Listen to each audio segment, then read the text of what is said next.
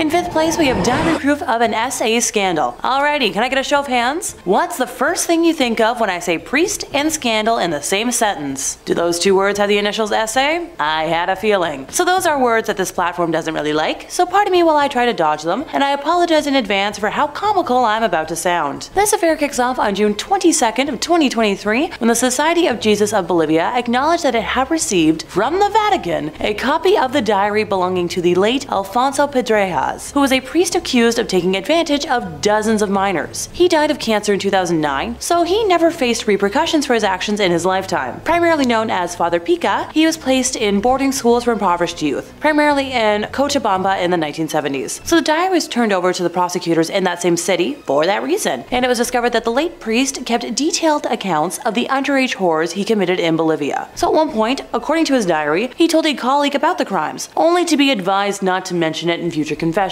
Ah, yeah. The good old ignore it and it'll go away approach. The priest's nephew, Fernando Pedrajas, discovered a printout of the diary in an attic and turned it over to a major newspaper. And in its pages, the priest wrote lines such as, I hurt so many people, too many. The newspaper publishing excerpts from the diary prompted an outcry in Bolivia and an official Vatican response. Go figure. Pope Francis promised to ensure the full cooperation of the church to work alongside the government as it investigates the allegations. He also expressed sorrow over the ongoing revelations in the Catholic Church, calling them deplorable. Yeah, okay. And remind me again, what does uh, full cooperation mean? Coming from an institution that covers up more than it discloses, pardon me if I take that with um, a pound of salt. Bolivian President Luis Arce has called on his country to strengthen controls to prevent foreign priests with, you know, a history of sexual crimes from entering the country. Which, you know, it's fine, and obviously I support that, and, you know, great, but it's hard to find that out when the church is super skilled at covering things like that up. Priest Jordi Bertomeu, a sex crime investigator from the Vatican, arrived in Bolivia back in May to gather information about prevention efforts being undertaken within the church to stop these kinds of crimes. Well, that sums it up right there for me, folks. The church has its own sex crime investigator. It's such a problem that they have a specialist.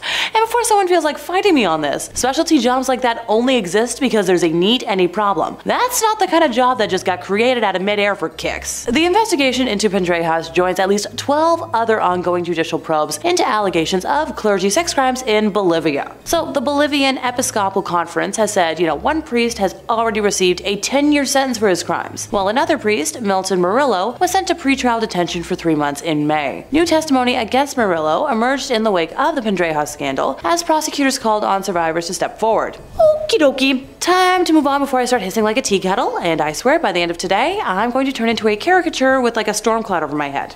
In fourth place, we have a drastic loss of support. So in Germany, people who are formerly members of a church pay a so-called church tax that helps to finance it in addition to the regular taxes that the rest of the population have to pay. If they register their departure though with local authorities, they don't have to pay it anymore. Granted, there are some exceptions for like low earners, folks who are jobless, retirees, students, and etc. But I'm pretty sure here in North America, all money given is through donation, and you just, you know, stop going on your own terms if you want, but it's more complicated elsewhere. But also feel free to let me know in the comments if I'm wrong, because I'm not a certain expert on Catholicism. Anywho, more than half a million people formally left the Catholic Church in Germany last year, which was significantly higher than the previous record. The German Bishops' Conference said specifically that over 522,000 people left the church last year, which is up from around 350,000 in 2021. In comparison, only 1,447 people joined the Catholic Church, which was around the same as the previous year. The departures left the number of Catholic Church members in Germany at nearly 21 million, which is just under a quarter of the population. Now, the Bishops' Conference didn't detail reasons for departures in this annual release of statistics, but many people have turned their backs on the church in recent years, you know, amid fallout from scandal over bad things done by clergy and others. Wow,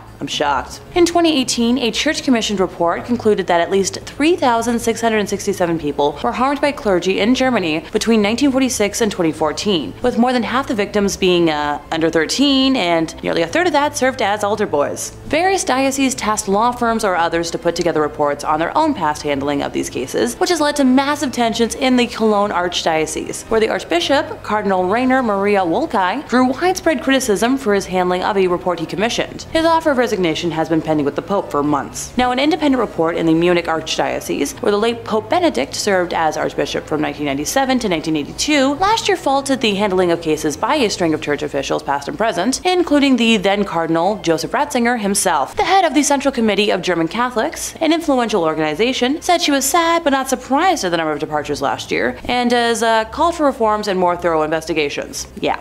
Good luck with that one. I ain't holding my breath. In third place, we have the Vatican Bank, so formerly known as the Institute for the Works of Religion, the Institute, or the IOR for short. It was founded in June of 1942 by papal decree of Pope Pius XII. So, uh, anyone want to guess when they presented their first public operations report? Come on, give it a try. Nope, not anywhere in the 1900s. 2013. Yep, that's what I said. 70 years later, they produced their first, uh, annual report. You know, the thing that's supposed to be held every year. Previous to all this, all internal ledgers were destroyed every 10 years in accordance with their policy. So the IOR's role is to safeguard and administer property intended for works of religion or charity. And the bank accepts deposits only from top church officials and entities, and is run by a president, but overseen by five cardinals who report directly to the Vatican and the Vatican Secretary of State. So they only report to themselves. For reference, all banks that operate here in Canada have to report to the Minister of Finance. Just saying. Former bank president Ettore Tedeschi and the Vatican Bank have been investigated on two separate occasions for money laundering. In March of 2012, JP Morgan Chase closed a Vatican account in Milan after the IOR was unable to respond to questionable money transfers. In 2010, Italian authorities seized 30 million from a Vatican account at Italy's Credito Artigiano Spa, following allegations that the IOR violated anti-money laundering laws. Now, Everybody denied wrongdoing, and no charges were ever filed. The money was released after the IOR promised to pass measures to come into full compliance with international standards on money laundering and terrorism financing. In September 2019, German Cardinal Reinhard Marx, who was in charge of the Vatican's Economic Council, confirmed that Pope Francis had instructed him to reduce costs in an effort to eliminate a deficit that is estimated to be around 70 million euros. Don't get excited though, that's not a concrete number from them because, you know, that would be way too transparent. The exact amount is up for debate because the Vatican had not published a budget since 2015 and has been without an in-house auditor for two years or more. And uh, pardon me while I'm gonna blink real slowly here. The Vatican enjoys a property tax break for all non-commercial properties containing a chapel. So using this loophole, between the years 2006 to 2011, the Vatican evaded taxes that amounted to 4 billion euros. The European Court of Justice ruled this illegal, and the Vatican had to cough up those uh, euros as tax, because, you know, every kind of organization has that money lying around. And no, the Vatican did not entirely pay for evading taxes. It is argued that if you take into account the taxes that they evaded dating back to, let's say 1982, they would owe over 13 billion euros. Yeah, I'm moving on before my eye twitch gets worse. In second place, we have the chronovisor. No, this isn't some weird, you know, hat or goggles. Italian Benedictine monk Pellegrino Ernetti claimed to have used a time viewer which could film the past without sound, and used it to obtain a photograph of the crucifixion of Jesus and view scenes from ancient Rome, including a performance of a very lost play. Now, this was mostly scrubbed away in history until like 2002, when author Father Francois Brune swore in his book, Le Nouveau Mystère du Vatican, that the chronovisor not only exists, but he learned about it in the early 1960s. A day after he met scientist priest Father Pellegrino for the first time, the two were sailing along the Grand Canal of Venice, discussing biblical interpretations, when uh, the father explained that theories and interpretations were unnecessary when one could see the truth for himself. So he explained to our lovely author how the chronovisor functioned, allowing the viewer to both see and hear events of the past and future. And hey, if you don't believe my word, his full account is in that book I mentioned earlier. So with a little digging, researchers will find first mentions of the chronovisor in a 1972 article published in the Italian magazine La Domenica del Corriere entitled A Machine That Photographs the Past Has Finally Been Invented. Belongs to the Vatican, and this chronovisor time machine is heralded as one of the papacy's best kept secrets. It's said to be replete with three precious alloys, cathodes, dials, levers, and has the ability to display myriad historic events in biblical and Roman history. So apparently Apparently, since it acts as some sort of television, it can verify all of this. Now, this time machine is claimed to have been invented in the 1950s by a dedicated and secret team of Italian scientists, including who I've already mentioned, Mr. Pellegrino himself. Critics may take credibility issues with the fact that he, you know, eventually became a priest, but he was a scientist first. See, This critic doesn't take issue with that, more so that the Vatican is hiding a tool that could be used to help solve, you know, unanswered crimes around the world and maybe help people. Like imagine how many killings could be solved and how many families of lost people could have answers. Stop being selfish. In first place, we have the allegations from Arise Church. So an external review of Arise Church has called for its entire board to resign after reports from more than 500 current and former members, you know, that include allegations of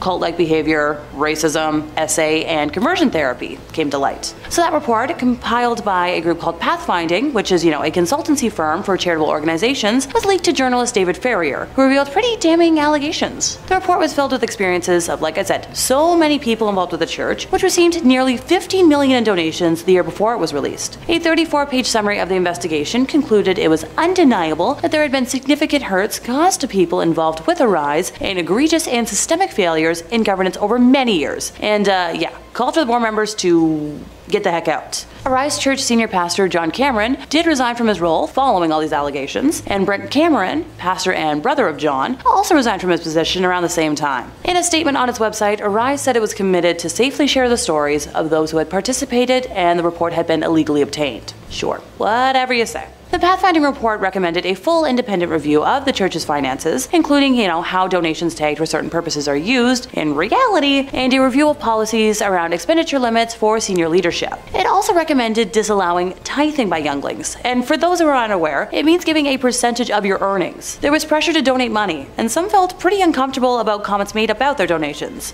And oh no, ah. Uh, I wish I could swear right now. Underage people should not have to give a percentage of their earnings to anything if they're working. In total, 545 people completed submissions for the review, including folks from every campus across the country, past and present ministry school students, current and former members, staff, and past board members. They revealed harmful practices that had continued up until present day, and a very significant number of people had experiences that caused pain and hurt. A review found racist remarks were said from those preaching on the stage, with some staff being told to focus on white kids. When troubling behavior was experienced by members, they felt unable to speak up due to the pressure to say yes and please senior leaders amid an honor culture that had a strong focus on leadership rather than Jesus. This culture created favoritism among members, and uh, leaders sometimes used derogatory nicknames over a period of months for some individuals. So the reviewers heard from people who were pressured to continue working despite illness or serious injuries, including broken bones and concussions, and the dangers people faced driving through the night on no sleep to meet expectations, and operating heavy machinery after 17 hours of duty. Reviewers heard reports of people at the church who were part of the LGBTQI plus community being subjected to conversion therapy and denied opportunities to serve because of their sin. And when I tell y'all I almost burst into tears when I first read that, as an openly bisexual woman, in today's day and age, I just want to scream whenever someone claims sexuality other than heteronormativity is an abomination or a choice that can be changed. People are born this way and that's their lives. Let them be. It's not going to hurt your existence. Arise Church has reported a loss of almost 2.8 million, and after all of the above came out last year, I couldn't be happier. The average number of people people at physical Sunday services fell from 4,000 people to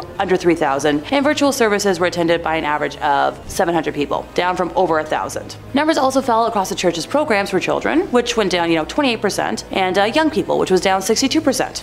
Good riddance. Number five, St. Mary the Virgin Church, Clophill, England. I gotta say, that sounds like it's a fake place, like where Sir Topham Hatt lives. Well, not only is it real, but it's home to a bone-chilling haunted church, St. Mary the Virgin Church. Now, St. Mary was built in 1350 outside the main settlement of totally real place Clophill. Traditionally, churches are built facing the east. I didn't know that. It's so it can align with the sun rising, which in Christianity is associated with heaven and the Messiah. Churches have their altars facing east so you pray in that holy direction.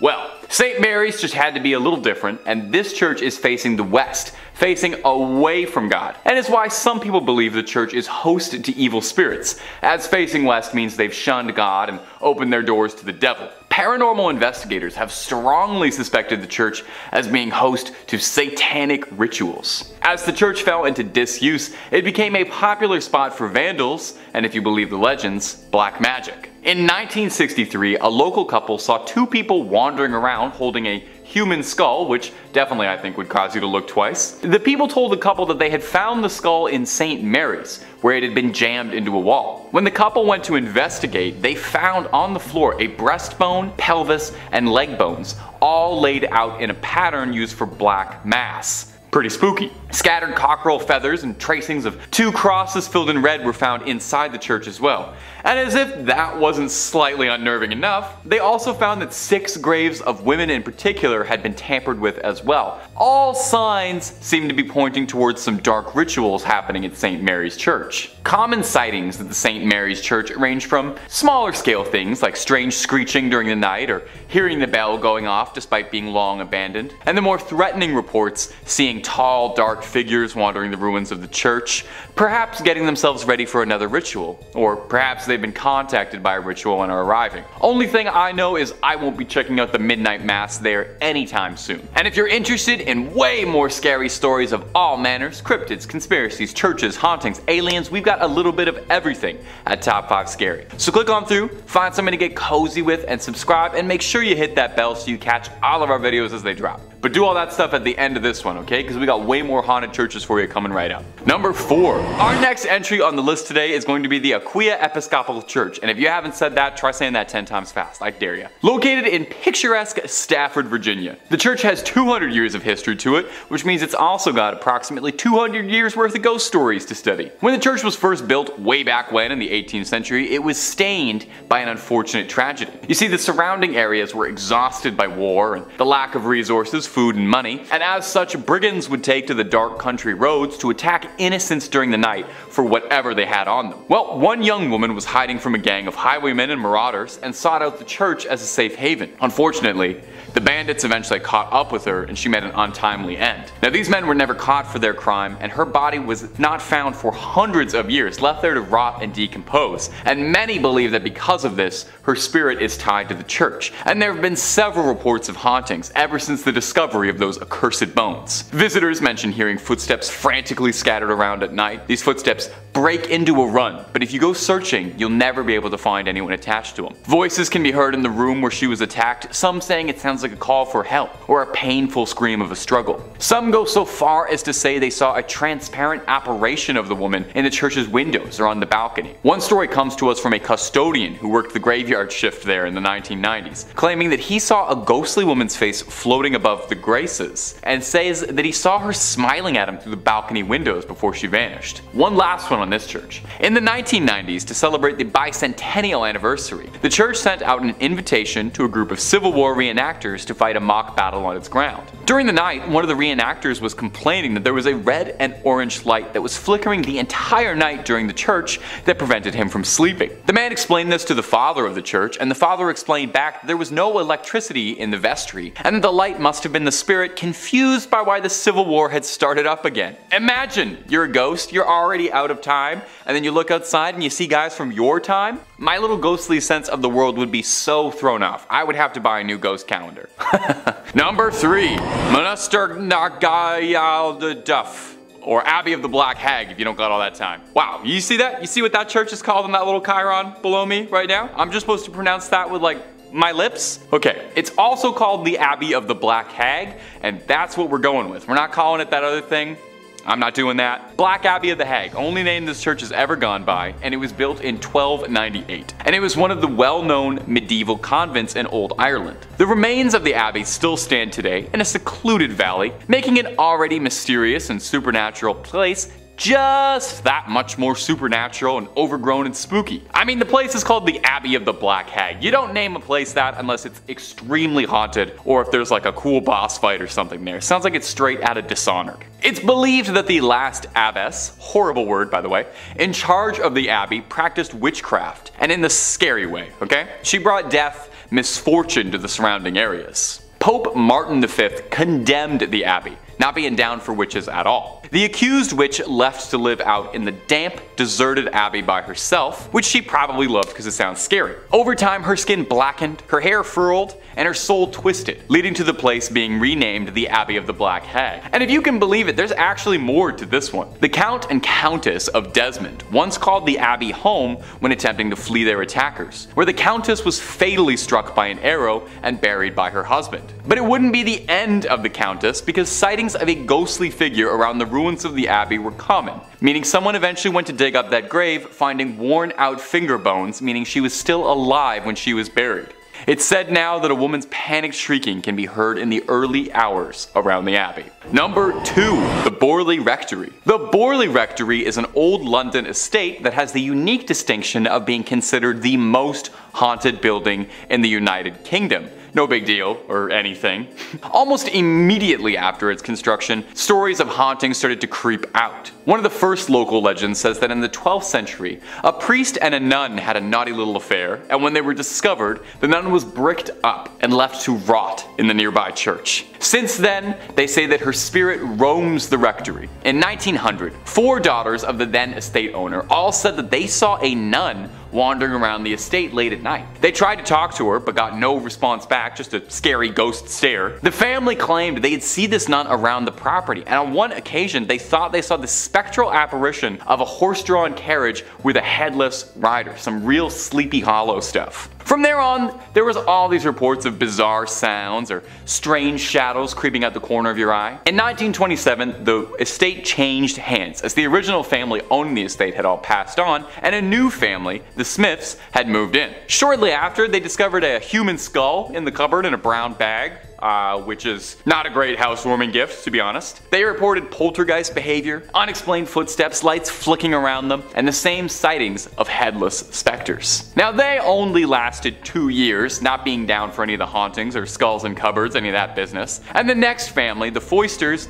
didn't have much better luck. They had objects flying around their home, and on one occasion claimed their daughter was attacked by something truly horrible. They moved out as well. And the last owner of the rectory would be Captain Gregson, who accidentally lit the estate ablaze while unpacking, although insurance claims they think the fire was started intentionally, perhaps in a desperate attempt to cast away whatever evil has been trapped in the Borley Rectory for so long, or perhaps he unintentionally unleashed it out into the world.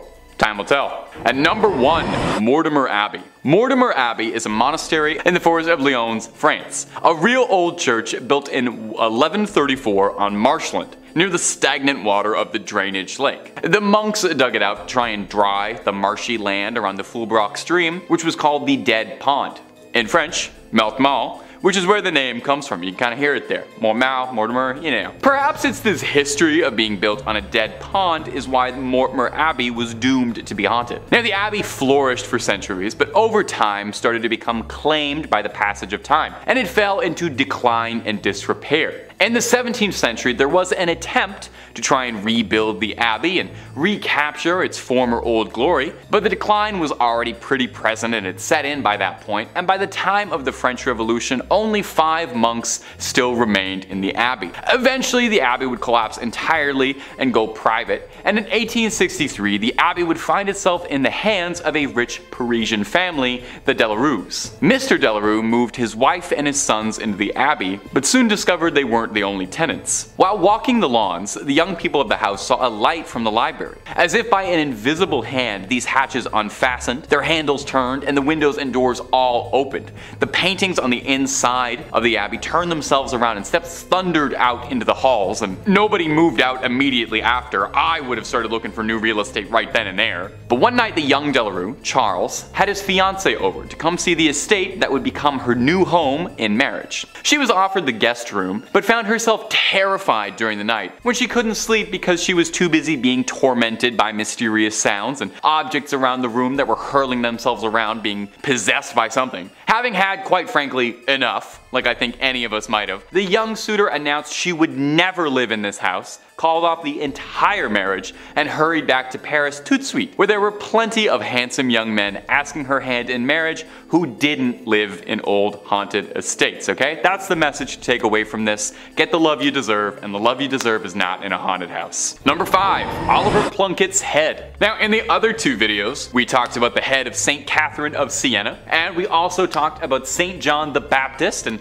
how many heads he may or may not have had scattered across the world, and I'm not one to break tradition, so I thought for part 3 I would include a third holy saintly severed head, this time belonging to Oliver Plunkett. A notable difference between the two other severed heads is that this one is probably the most disgusting one we've included on these lists. I know these are all holy relics, but let me just say, out of context, this is absolutely horrifying and looks like it's straight out of a grindhouse horror movie that you'd find in a, a dirty basket somewhere.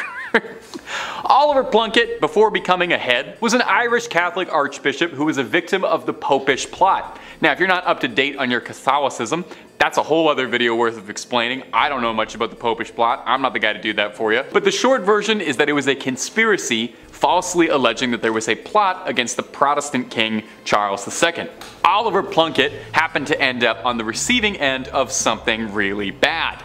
Uh, namely, he was executed, which is pretty bad. But they really went out of their way to destroy Oliver Plunkett, his public image, his body. They called his praising of the Roman Catholic Church high treason, and his punishment was a slow and arduous death. He was hung, drawn, and finally quartered. Uh, and just in case there were any odds of him pulling through on a miraculous recovery, as a final effort, they yeeted his head into a fire where it was rescued by a friend of Plunkett. I'd like to think I would do that for my friends. Well, after being recovered, the head was rescued and stored hidden away in a nunnery, eventually brought to Ireland in 1995, where he's now kept on display in the National Shrine to the Saint. He was canonized for his troubles, and he is the first new Irish saint in about 700 years. It's high time for some new blood, I think. So, you can go, you can pay your respects to him, and maybe offer him some skin cream, because uh, that skin's looking a little dry. And if you're looking for more creepy videos on weird relics or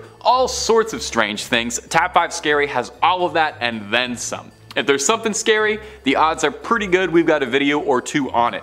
And if you haven't already, subscribe, hit that bell for more videos every single day, but do that at the end of this video, okay? We got way more weird Catholic relics coming up for you. Number 4. St. Teresa's Hand. Now, if you've watched our other videos on this subject, then no doubt you're already very familiar with the practice of making remnants of saints into relics. Now, something that's directly from a saint is called a first class relic. That means it's something that came off of their body, you know? Uh, their hair, their fingernails, a vial of their fluids, or in the case of the lovely St. Teresa, her whole hand. Encased in a beautiful ornate golden reliquary with gems all over the knuckles and the editors are goofing off because that's just a picture of the Infinity Gauntlet from Avengers Endgame. Wait, that, that's the real, that's what it really looks like. Yeah, it seems that Marvel Studios was more than inspired by the incorruptible St. Teresa's hand when designing the weapon that would give Thanos the power to wipe out half the universe. Throw a comparison pic of them side by side, they're almost indistinguishable. I'm not 100% certain if there's any symbolism or connection there, but I'm sure St. Teresa would love to know she was involved. She was a huge fan of the Marvel Cinematic Universe and all the things they do. When St. Teresa of Avila passed away, the sisters of her convent buried her with the hopes of keeping her holy body with them. Nine months later, she was exhumed, only to discover that her body was intact. She hadn't decayed at all. That's why they thought she was incorruptible. Now, I'm not sure I totally follow the logic here, but after they discovered her body was incorruptible, they uh, took her hand off and put it into this golden infinity gauntlet thing as a way of inviting people to get closer to God through the saint's body. Now, this might not seem appealing to you, but there's a surprising demand for this relic. Near the end of the Spanish Civil War, General Francisco Franco had the hand removed from the convent and allegedly kept it close by, and if some of the wilder rumors are true, true, he would keep it by his pillow for good luck. You really gotta hand it to him, he was a devout follower of the faith. Today, you can find the hand in Iglesia de Nuestra Senora de la Merced in Ronda, Andalusia, and you don't even have to rip a stone out of the Vision's forehead to get a good look at this gauntlet. Number 3. The Veil of Veronica. Now on these lists of holy relics, we've had all sorts of strange things. We've had fingernails, teeth, dried up hands, we got milk coming up later, all things that have come from the body. Well, this next one is no different. It's the Veil of Veronica, and to put it gently, it's a sweat rag that's a few thousand years old. Probably one of the most pungent odors on the planet. Imagine every gym locker room you've ever been in times a thousand. When Jesus carried the cross, bruised and beaten, there was one person among the crowds who saw fit to help him out a little. Veronica wiped Jesus' face with this rag, and miraculously his face transferred onto the rag like it was silly putty on the funny papers. Now as an outsider, I thought this is what the Shroud of Turin was. That was the wrapping used to wrap Jesus after his death, so the thing I'm learning is that Jesus left an imprint of his face on just about any surface he touched. You give him a hug, have his face on the shoulder of your shirt for the rest of your life as a sacred artifact. Now, the Veil of Veronica is hard to nail down hard, concrete facts on. It's never been officially canonized as a relic of the church and is only alleged to exist.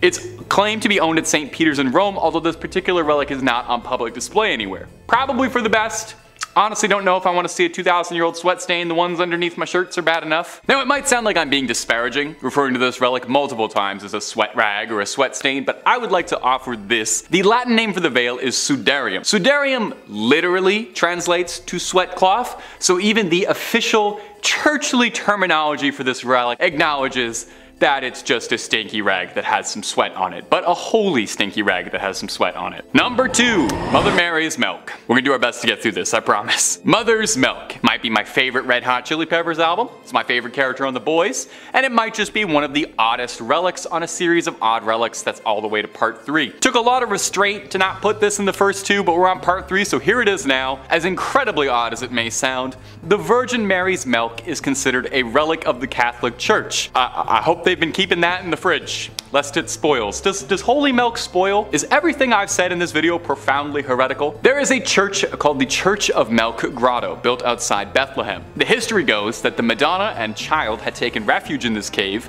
and while she was feeding, milk spilled outwards and blessed the stone of the cave, turning it completely white. Now, the church serves as a popular shrine for women who are struggling with fertility, who hope that the lasting aura and presence of the Virgin Mary will bless them. There's a legend that goes with it. Saint Bernard, the saint, not the big dog that has his tongue hanging out, was devoted to the Mother Mary. And one day he was praying at a statue of the Madonna, and he asked it to give him some sign, some proof that she was a mother. I guess the statue has like a odd sense of humor because it sprayed milk onto Saint Bernard, uh, depending on the variation of the story, either his eye or in his mouth. I saw a lot of of really interesting paintings depicting this scene. And editors, I hope you're having so much fun trying to find photos for this one. I am so sorry.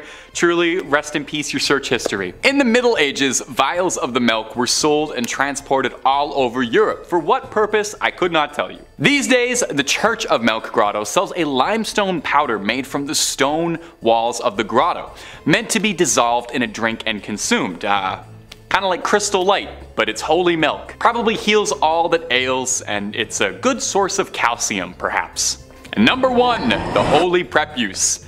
This is gonna be the one that takes the channel down. You have no idea the restraint it's taken me to, to only be bringing this up now in part three of, of Strange Relics. This is probably the strangest relic of them all. We'll do our best to discuss this with reverence and also somehow figure out how to stay within content guidelines. Editors, Best of luck. When Jesus was born, on his eighth day, uh, a small piece of his skin was removed in a traditional ritual performed on Jewish men when they're born. Okay? Are you, are you, sort of following along with what I'm saying here? This particular part of the body that I can't quite mention that was removed at birth was an immensely holy relic to the Catholic Church called the Holy Prepuce. Now, the very bizarre part regarding the history of the Holy Prepuce isn't just that it exists at all, it's how much trouble one bit of skin would cause. You see, the prepuce first pops up in the year 800, when Charlemagne gave it to Pope Leo III on December 25th, making it one of the oddest Christmas gifts ever given in human history. From here, it stayed until 1527.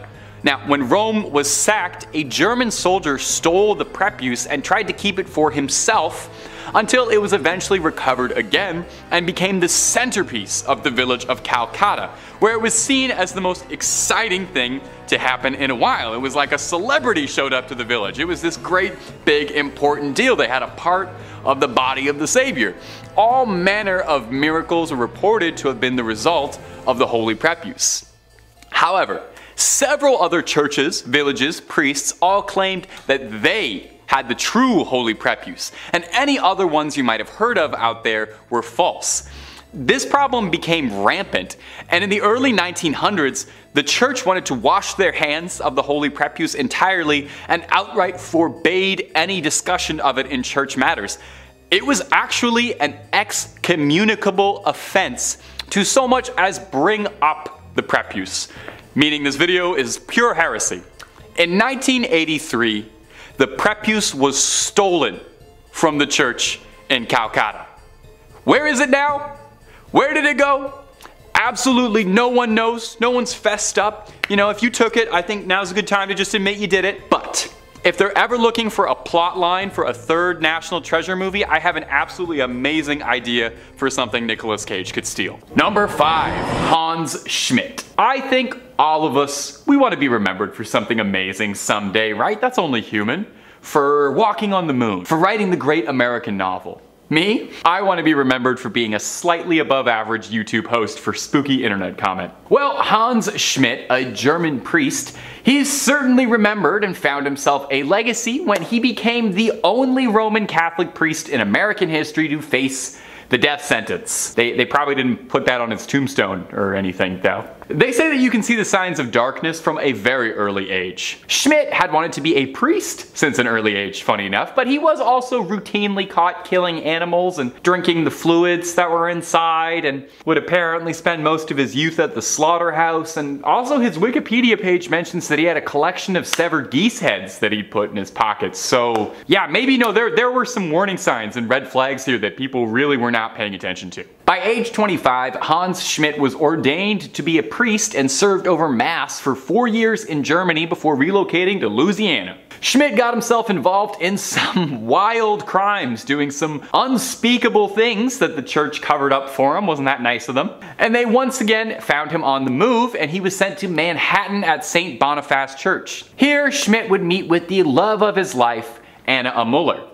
He became immediately obsessed with her, claiming that it was God's will he fall in love with her. Oh my god, ladies, don't you just hate it when a guy pulls the old, oh, it's God's will, it's God's will. all the time, eh? He began an affair with her and he held a secret wedding vowing to leave the cloth with her. When a Muller became pregnant, Schmidt knew he would be outed for disobeying the oath of priesthood. So being a reasonable thinking man of God, Schmidt's solution was to slit her throat and remove her limbs and throw it in the Hudson River and then went to mass the next day. Oh, no, that's actually not, not very priest-like at all. Schmidt was tried, convicted, and executed in Sing Sing prison where, like I mentioned earlier, he remains the only American priest that's ever happened to. Although from what I've learned about the guy, I, I don't think anyone would complain too much that that happened. I don't know if this was a huge loss. And if you're looking for way more stories of creepy crawlies, ghosts, goblins, conspiracies, and basically anything freaky under the sun and above it that you can think up, hit subscribe for Top 5 Scary and don't miss a single scream.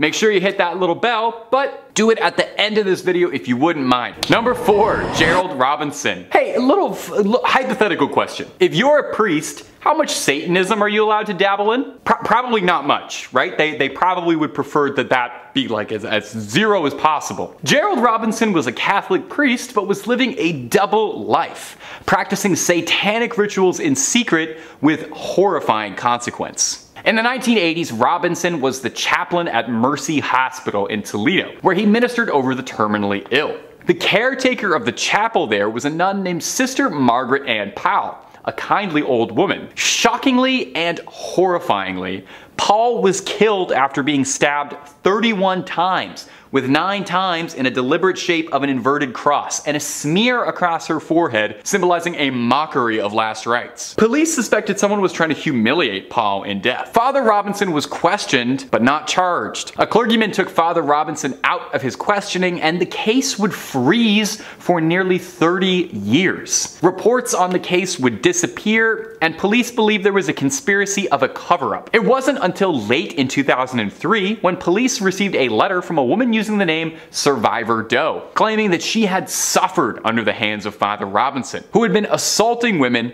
and practicing satanic rituals up to and including human sacrifice. With these new, lofty allegations, authorities reopened the case and upon searching Robinson's apartment, discovered a sword-shaped letter opener that fit the wound in the nun's body like a key to a lock, according to prosecutors. What a what a charming turn of a phrase for a horrible thing. In 2006, Robinson was charged, and hopefully, Sister Pahl was able to find some peace in the afterlife after such a mortifying ordeal. Number 3. Father Daniel Petra Corgano. When you take the cloth, you get called on for all sorts of things. Marriages, funeral rites, confessions, and in the extreme cases, exorcisms, where you're the last line of spiritual defense against a demonic spirit that has taken host of someone else's body. Of course, exorcisms don't always go the way that you would hope. You know, sometimes a little pea soup gets fired across the room. Sometimes the person you're exorcising accidentally dies from your neglect. You know, anything can happen, really. Father Daniel Petre Corgano believed that a member of his flock, a nun in the convent, one sister Marcia Cornici, became the unwilling host to a demon that had moved in and paid first and last for rent inside her soul. Now, she was experiencing classical symptoms of schizophrenia, but Corgano believed it to be demonic possession. Sister Cornici was bound at her ankles and wrists and given holy water to drink, which she threw up. I, I don't really blame her. I bet it probably tastes weird. Rather brutally, after this, Sister Cornici was bound to a cross and was gagged with a wet cloth soaked in holy water, which we already know she doesn't like the taste of. From here, she was cruelly subjected to a round-the-clock exorcising over the course of three days. I cannot even imagine how mentally and physically taxing that was. Now, she wasn't fed during this time, nor were any of her medical needs tended to. And I don't know how much you know about like medical stuff or, or the human body, but you need food to live. Sister Cornici would unsurprisingly pass away from complications suffered during the exorcism, leaving this earth a free soul, if for nothing else. Now, Father Corgano would undergo investigation for his involvement in Cornici's death. He insisted that he was simply following following God's plan and that he was trying to cure her the way God intended, and her death was a, an unfortunate accident and, and not his intention. Well, sure, you didn't kill her, but you did tie her to a cross and not feed her for three days. So you you definitely helped. I don't know how to tell you. In the end though, Sister Cornici's death was officially ruled to be caused by an overdose of adrenaline injections when she was taken into the hospital. Ah, okay, well that clears it up then.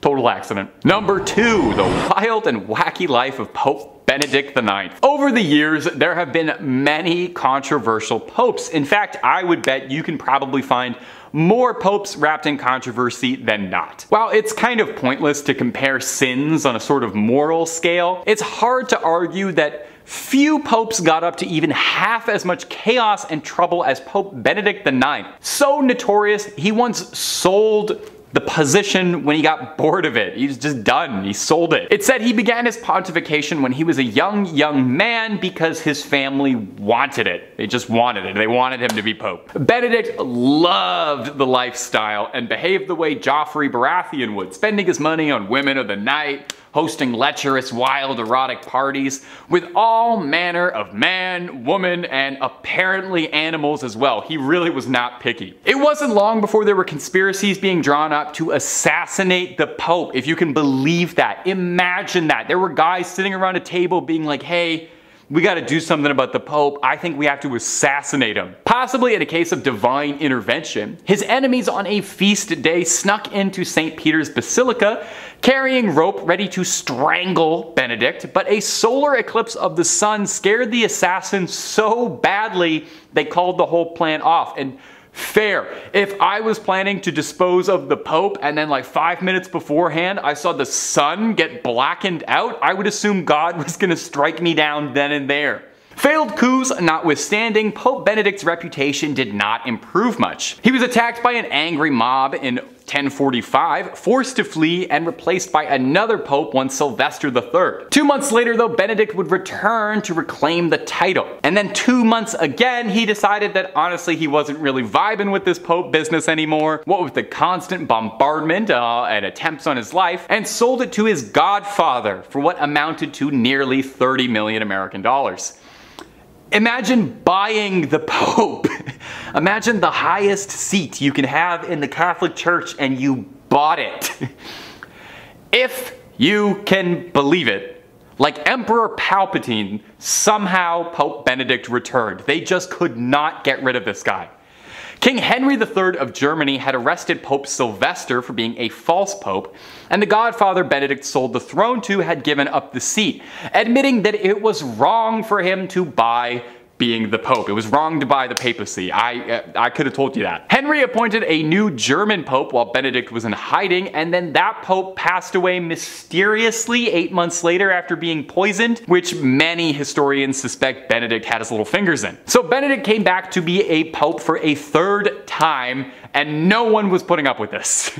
Henry III sent troops to drag him out of the basilica, and he spent his dying years in a monastery where he is now remembered as one of the worst popes in history. But he sounds fun. Number one, Oliver O'Grady. All of these people have been awful or downright embarrassing examples of priests, and yet Oliver O'Grady might be the worst of all of them. YouTube content guidelines really does not like for us to be discussing the kind of crimes that he committed, but I will say this. If I say a Catholic priest committed a crime, it's the first one that you're imagining right now. It's that one. And if you don't know what I'm talking about, you might not be old enough to watch these videos. O'Grady began his career in the early 70s and committed innumerable immoral, irredeemable acts on the most vulnerable members of his flock. By 1993, he was convicted and sentenced to a 14-year prison sentence and a $7 million settlement to the victims whose families and lives he'd ruined. However, and if, if you don't want your day ruined, pause this video, open up another tab, watch a video of some like kittens playing or anything. Nothing good is about to happen here. He only served half that sentence. He served seven years and was then paroled and deported in Ireland. In 2005, a video deposition had O'Grady confessing to having had 25 victims. In 2006, a documentary made about Oliver O'Grady called Deliver Us from Evil focused on his crimes, but more importantly, how the Catholic Church pulled a nice big white rug over the horrific crimes he committed to protect their clergy. The documentary outlines how O'Grady preyed on his victims, how he committed his crimes, and how the church was very well aware of everything everything he was doing and swept it under the rug. In 2019, O'Grady was arrested again. Oh, I can't believe it. He seemed like such a good guy. This time for owning deeply illegal lewd content. O'Grady would find himself in jail again in 2020, sentenced to 22 months, which seems kind of like a slap on the wrist given the history, but what do I know? Generally, I think if they make documentaries about the crimes that you've committed, that should impact the sentence slightly. But again, I'm not a lawyer. I'm just a YouTube host and I'm just Tay. Number 5. A close personal working relationship with Benito Mussolini. The Vatican isn't just the seat of the Catholic Church, it's also the smallest country in the world. Did you know that? Despite existing inside of Italy, the Vatican isn't part of Italy, but rather its own country, a little sovereign state. About a thousand people live there total. But it hasn't always been that way though, it wasn't founded as its own separate city. And the reason it became that way is a little darker than I'm sure the church would would like to admit to, a treaty with infamous fascist leader Benito Mussolini. In 1922, Mussolini and the National Fascist Party came to power crushing democracy and putting up a pretty hostile dictatorship in its place. In 1929, Mussolini and the church came together to meet and sign a treaty, granting the church the status as a private enclave, a sovereign state inside of Italy. The deal was Mussolini wouldn't bother the Vatican, and they wouldn't bother him. Mussolini even paid out a massive, massive settlement, which the church invested and is believed to have been valued at $780 million. dollars, Alongside the church getting tax exemption status and priests getting a healthy salary from the Italian government. All of those benefits you can thank fascist leader Benito Mussolini for. Perhaps most illuminating, however, was a clause that protected the Vatican's dignity, so to speak. Meaning as part of their laws as a sovereign state, they were allowed to arrest and try anyone who criticized the people and the church. In exchange for signing this treaty, the Catholic Church publicly supported the fascist and was recognized as Italy's official government. The Vatican's own newspaper printed shortly after the deal went down, Italy has been given back to God and God to Italy. And they had the support of someone who was involved in hundreds of thousands of deaths to thank.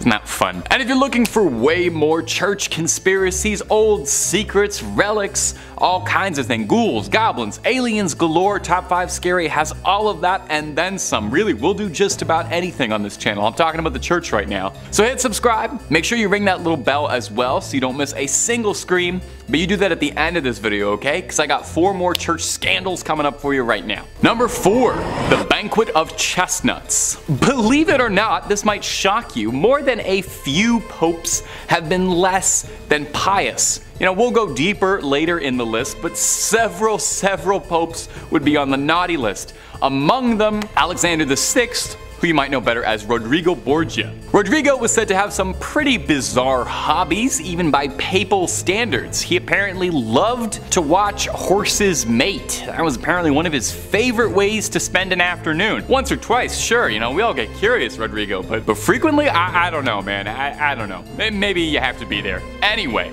that's not even the most controversial thing the Borgias were involved in. Seriously, look up the Borgias after this video, there was a lot. One of the most infamous things Rodrigo got involved in was called the Banquet of Chestnuts, sometimes referred to a little more colloquially as the Joust of...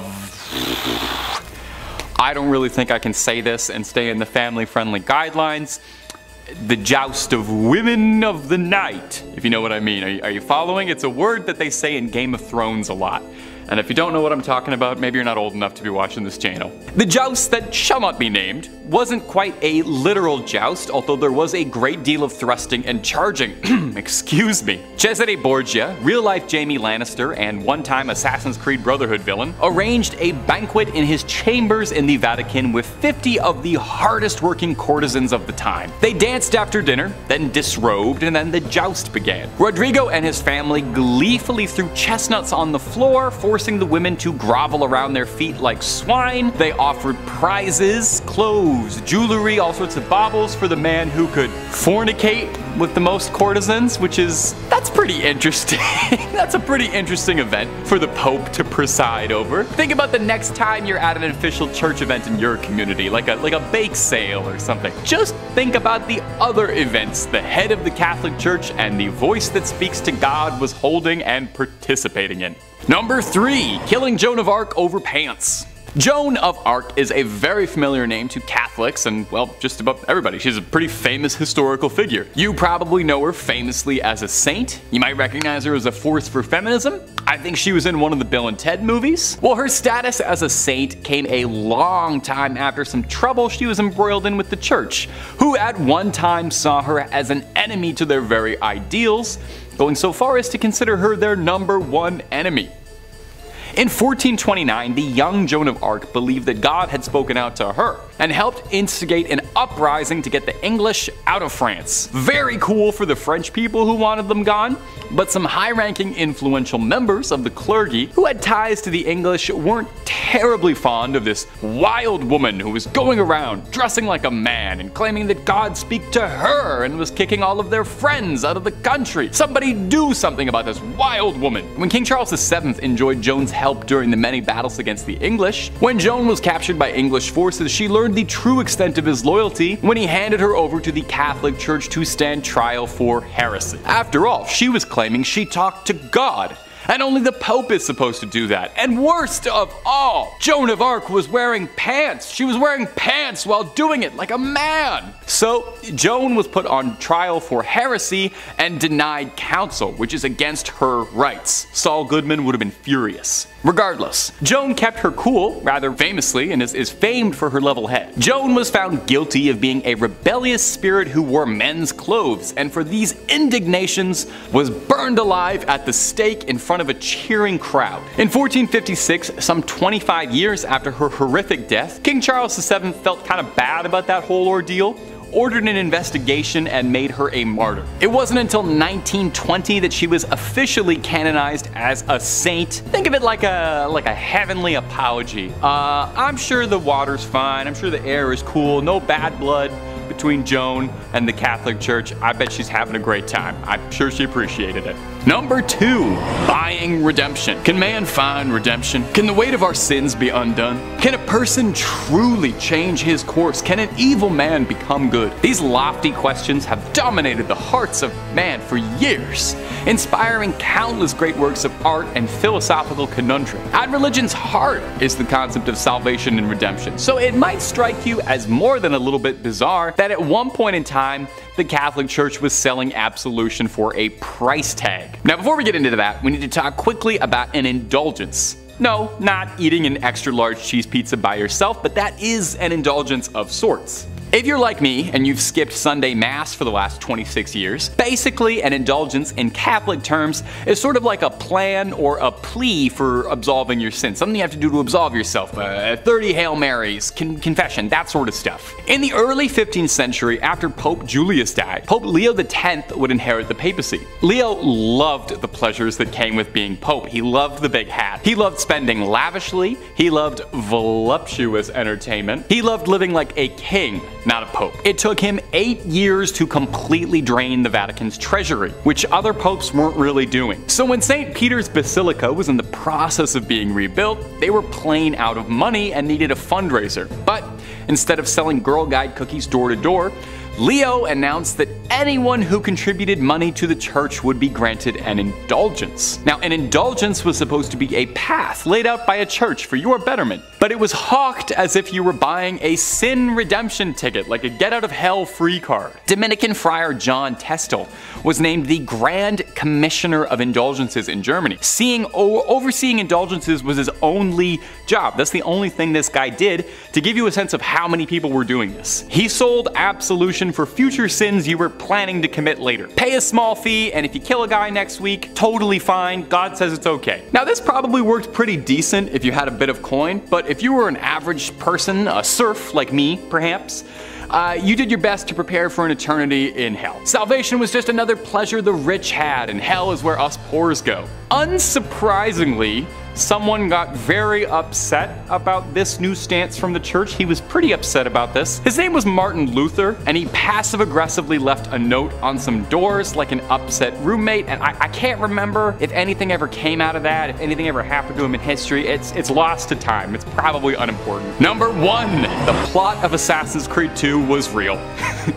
if you've garnered anything from this video, I sincerely hope it's that the Pope oftentimes does not follow the rules. Yes, the guy interprets the will of God, and he's got a direct phone line to him directly, but that doesn't mean he has to follow every single one of his rules. We've already discussed some truly wild sins, horse mating, chestnut parties, spending money, but let's top it all off with the biggest one, a full-blown assassination conspiracy revolving around a pope ordering a hitman. And you just sit on that for a second. In the 1470s, Pope Sixtus IV hatched a scheme to get to rid Florence of the Medicis, who was the most influential family in the country at the time, with such power that they rivaled the church. The Medicis had served as the bankers for the papacy for generations, and as such were absurdly wealthy. Pope Sixtus kickstarted this conflict when he swapped the Medicis as the papal bankers to the Pazzi family. Oh, no, no, no, no, no. The Medicis didn't want to fund the Pope's uh,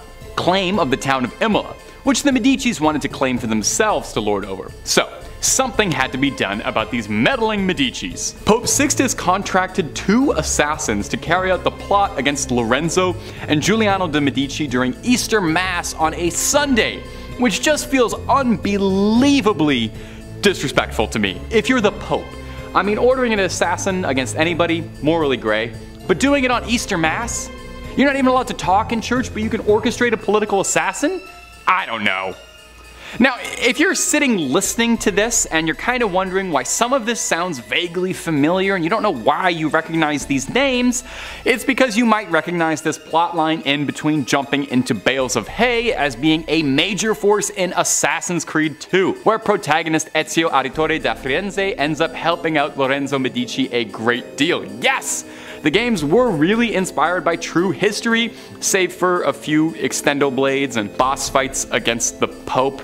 Uh, Rodrigo Borgia, as far as we know, never got into a fistfight with any assassins and wasn't killed by Cesare, but I digress. If you remember from Assassin's Creed 2, Giuliano was fatally slain, but Lorenzo survived and rallied support of Florence in a war against the church. Lorenzo picked off conspirators, sorry, Ezio picked off conspirators, and then sailed to Naples to meet King Ferdinand to discuss a peaceful solution to the bubbling war. So in the end, the plot failed drastically because all it really did was make people think that Lorenzo Medici was the coolest guy around and brought intense shame to Pope Sixtus, and it inspired one of the best games Ubisoft ever made. In fifth place, we have an exorcism filmed through a peephole. So it's no secret that exorcisms are still still a practice done today, but the Catholic Church really likes pretending that they don't because of the negativity around it. Technically speaking, the Catholic Church authorizes the use of exorcism for those who are believed to be the victims of demonic possession. Specifically, in Roman Catholicism, which is what I grew up with, exorcism is a sacramental but not a sacrament, so unlike baptism, confirmation, first communion, or confession. Unlike a sacrament, exorcisms depend on two elements authorization from valid and legitimate church authorities, and the faith of the exorcist. The church will ask publicly and authoritatively, in the name of Jesus Christ, that a person or object be protected against the power of the evil one and withdrawn from his dominion. Now, the rite of exorcism was revised in January of 1999, making it a lot less Latin, and assumes that, you know, possessed persons retain their free will, although the demon may hold control over their physical body. It involves prayers, blessings, and invocations with the use of the document of exorcisms and certain supplications. Typically, the individual will be restrained, and the priest will perform a ritual of prayers to um, remove the evil spirits. Solemn exorcisms, according to the canon law of the church, can be exercised only by an ordained priest or higher, with the express permission of the local bishop, and only after a careful medical examination to exclude the possibility of mental illness. The Catholic Church has between 5 to 600 official exorcists, with the vast majority operating in Latin America and Eastern Europe. Now that we're all clear on the formal definition of exorcisms, time to dive into this lovely 2014 video. The ritual was captured on camera by a man who heard the shrieks of the woman inside the sanctuary and filmed it through the uh, peephole of a door. The incident occurred at the Assumption of the Virgin Mary Church in Vranov, Nadjai, in February of 2014. The church's priest, Marek Dunda, confirmed the video is real, but only said that if something is filmed through a keyhole, there's nothing more to say about it. Which is a dodging the question kind of answer if I've ever heard one. He told the newspaper he was talking to that he carries a mandate from his bishop to perform exorcisms, and also said that the group were asking God to protect and to liberate the person, including using a Latin prayer asking for help, and you know, of course it helps. Pardon me. I'm no expert on exorcism rituals yet, yet, but uh, if you have to state that something of course helps, in my personal experience, it's a smidge sketchy. It's very hard to tell what is happening in the video, but it appears that at least two people surround the woman, who can be heard screaming in agony with momentary pauses in between for the duration of the, you know, just under two minute long video. Daniel Trokta, who, you know, shot the video after hearing the screams, warns people in the description to watch the chilling footage while wearing headphones, which is what I did. When asked about the condition of the woman in the video, the priest said any details about her or her state were private. And while I'm glad the church is respecting her privacy, I hope that the poor woman has been cured and healed. As much as I joke about it, demonic possession is no pleasant laughing matter. In fourth place, we have footage from 2020. Okay, before anyone out there panics, I'm talking about the American News Magazine that's been, you know, broadcasted on TV since June of 1978. Not the awful year in recent history that we're not going to talk about, because that was awful. On April 5th of 1991, the show featured a segment that showed an actual Roman Catholic ritual of casting out demons, videotaped at a nun's home in suburban Palm Beach County. The segment shows the affected girl, referred to only as Gina, as she thrashes under the effect of ancient prayers, is sprinkled with holy water, and, you know, has a cross being pressed to her head. Common stuff. The girl retches, writhes, yowls, and bares her teeth.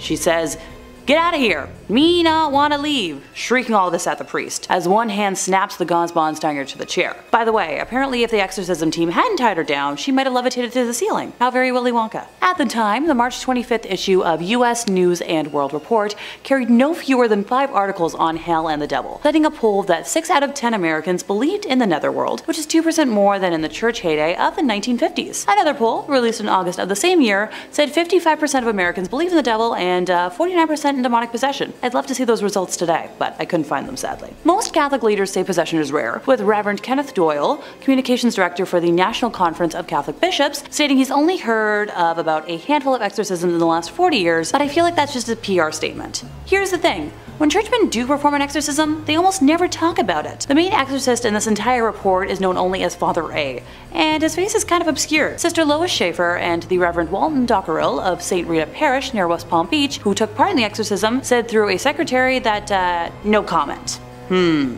Palm Beach Bishop J. Keith Symons, who permitted the taping, issued only a four paragraph statement saying that the devil really exists, he is powerful and actively at work in the world today, as through the centuries, which uh, echoes what Cardinal John O'Connor of New York said. Now, it was O'Connor's remark that there can be no question about the reality of the devil that initially drew the interest of 2020, especially after the church got about 75 requests from around the country to investigate possible cases of possession. That job fell to the Reverend James LeBar, a specialist in the occult, who looked into some of the initial claims and decided that Gina in South Florida was genuinely being tormented by demons. According to the report, she experienced psychotic episodes, plus visions of demons and dead persons. Oh, I don't wish that on anybody. Her mother says she tried visits to a spiritist and to various hospitals, and in the footage, the priests say the girl is controlled by 10 evil spirits. They meet her violent reactions by following the prayers and the gestures of the rite. The ordeal took about 6 hours, and um, this isn't really uncommon for exorcism lengths. Before the procedure even took place, Father A mentioned how it's a terrifying experience at times, and that he, you know, could die tomorrow or be attacked and taken over. Evil spirits like to take their time leaving a body, and not without a fight, and that leaves all of the parties involved extremely drained and exhausted, and vulnerable. Also quoted is Dr. Warren Schlanger of Miami Children's Hospital, where Gina was treated before and after the exorcism, and he did note that her condition improved afterwards. Father Ray, though, is still troubled. He believes the devil is disturbing his sleep, attempting to weaken and destroy him. He counts that as the price he must pay as a church point man against demons. Now, I know, someone's about to ask,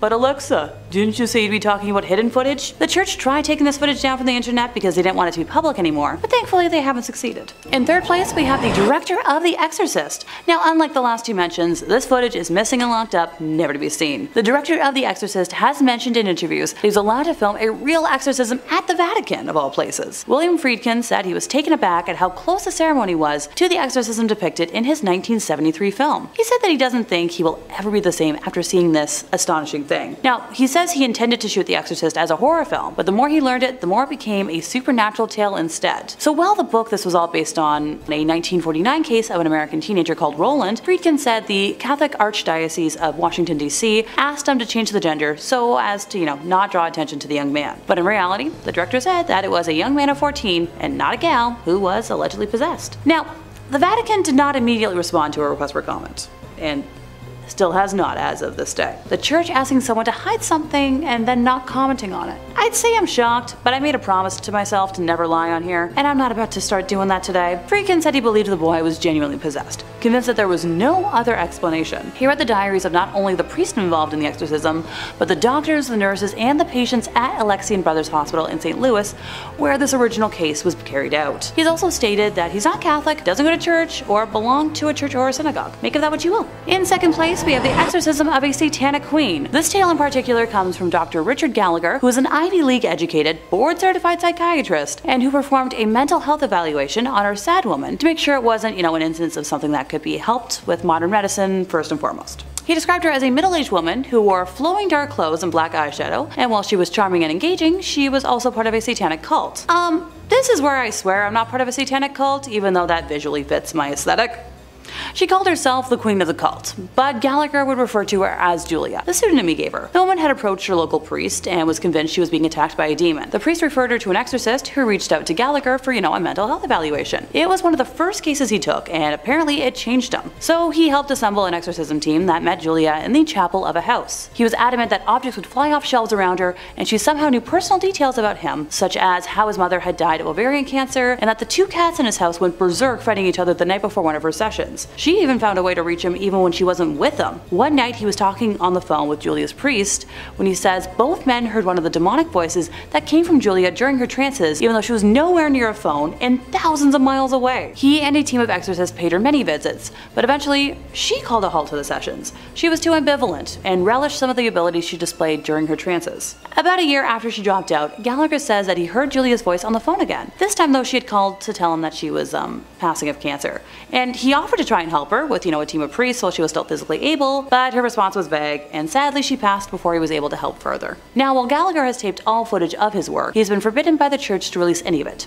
Ergo, Sorry folks, I got nothing. In first place, we have Ed and Lorraine Warren exorcism footage. Me talking about Ed and Lorraine Warren? I know, a shocker. While the video is blurred on YouTube to protect the identity of the poor girl, I personally think it's up there as one of the most frightening things I've ever seen. At an hour and 20 minutes long, it depicts a Catholic bishop in Connecticut attempting to converse with a demonic entity that has possessed the body of an innocent young woman while her family restrains her. Ed and Lorraine were the ones to alert the church to the possession after meeting her during an audience chat session that was held at the conclusion of one of their public presentations. During portions of the exorcism, when prayer is done, you can hear the demon acting wildly, and it originally refuses to give its name, both of which are quite common in cases of demonic possession. Eventually we learn that there are four demons possessing our victim, with one of them identifying themselves as Robert, a name associated with the son of Satan. I'll let a snippet roll now, allowing you to hear the woman for yourself. This footage was unreleased until after the passing of Ed and Lorraine, and it's believed that they were told by the Catholic Church to specifically keep it under wraps, but their son-in-law doesn't have the same fear or respect for the church, depending on one's opinion. Number 5. St. Catherine's Head. Coming up first on our list of strange artifacts that the Catholic Church has hidden away is the severed, mummified head of the revered St. Catherine of Siena. You wouldn't really expect there to be a severed head kept out on display, but it is an important head, I've come to understand. When she was young, St. Catherine had a vision of Jesus on a throne surrounded by saints. Afterwards, she devoted her life to Catholicism and she gave herself to the nunnery, cut her hair, scalded herself, and took a vow of celibacy. At 28, Catherine was said to have received the stigmata when five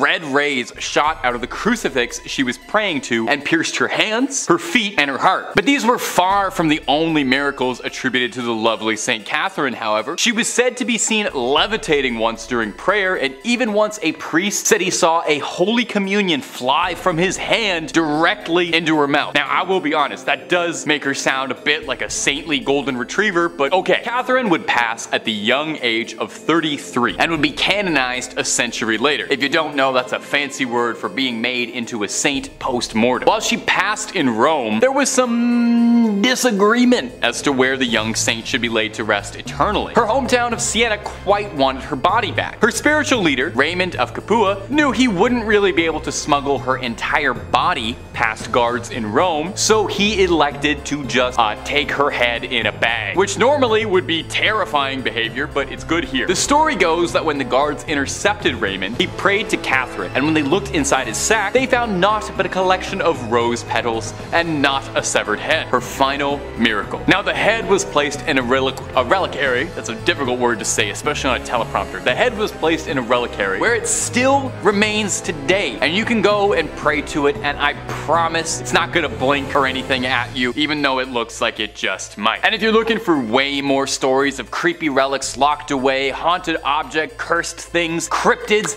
conspiracies, aliens, the whole scary nine yards, Top 5 Scary has all of that and then some. So hit that little bell, hit subscribe, and make sure you do not miss a single thing. Do it after this video, okay? We got way more creepy things locked away coming up for you right now. Number 4. The Grand Grimoire. Our next entry has been formally referred to as the Gospel of Satan and is said to be a cursed book whose knowledge had to be sealed away to protect humanity. So this might be the most deadly book ever published after Hop on Pop. The Grand Grimoire, who is said to have been penned by a priest in the 16th century who was possessed by a litany of demons who compelled the man to put their knowledge to paper. Acting as a scribe for these demons, the man wrote everything they knew about dark incantations, spells, instructions on how to cast rituals, ways to bind a demon to you to make it your little minion and do your bidding. Wait, a demon gave instructions on how it wants to be bound to a human to serve humans? Freaky little demon. That's not all too. There is a step-by-step -step recipe for a little necromancy if you're down to dabble in some dark arts and make some bones dance to your rhythm. The book really covers all the fun stuff you have been told not to do. It's not just brimstone and hellfire neither. There's rituals to help manipulate luck, how to conduct a seance, and I actually think this is adorable. There's even ways to make people love you in there. But dating tip from old Tay, uh, if you need a demon's help to make them like you, it might not be the strongest relationship. So just a heads up. Now if all of this is sounding super appealing and I don't blame you, I played a necromancer in Skyrim, I want to make the bones raise. Just know that this book is considered high treason. Even so much as cracking the spine is considered is considered equivalent to selling your soul. So, you know, maybe hold off on that Amazon order for a bit. Also, I'm pretty sure the copy they're selling on Amazon is not the original because due to the book's cursed reputation, the original copy is said to be locked away in the Vatican's secret archives and I'm sorry, but no matter how many times you ask, they're not gonna let you look at it even if you swear you're just taking a little peek just to look at the illustrations and maybe the dedications. They're gonna keep it locked up. I know. Number 3. Hyacinth of Caesarea. Our next entry is the bones of Hyacinth of Caesarea, another Catholic mummy. I'm starting to think there's more Catholic mummies than there were Egyptian ones. Incredibly ornate and gorgeous, the bones of Hyacinth look like something out of one of the Indiana Jones sequels rather than like a real thing you can go and see, but I promise you they are totally extant. On the grounds of the Furstenfeld Abbey reside the relics of two saints. Now, these aren't just like a toenail or a tongue, and more on that later, but these are full-on science class skeletons dressed to the nine in gold and jewels, encrusted in more diamonds and rubies than you could imagine. They are probably worth more than your and my apartments combined.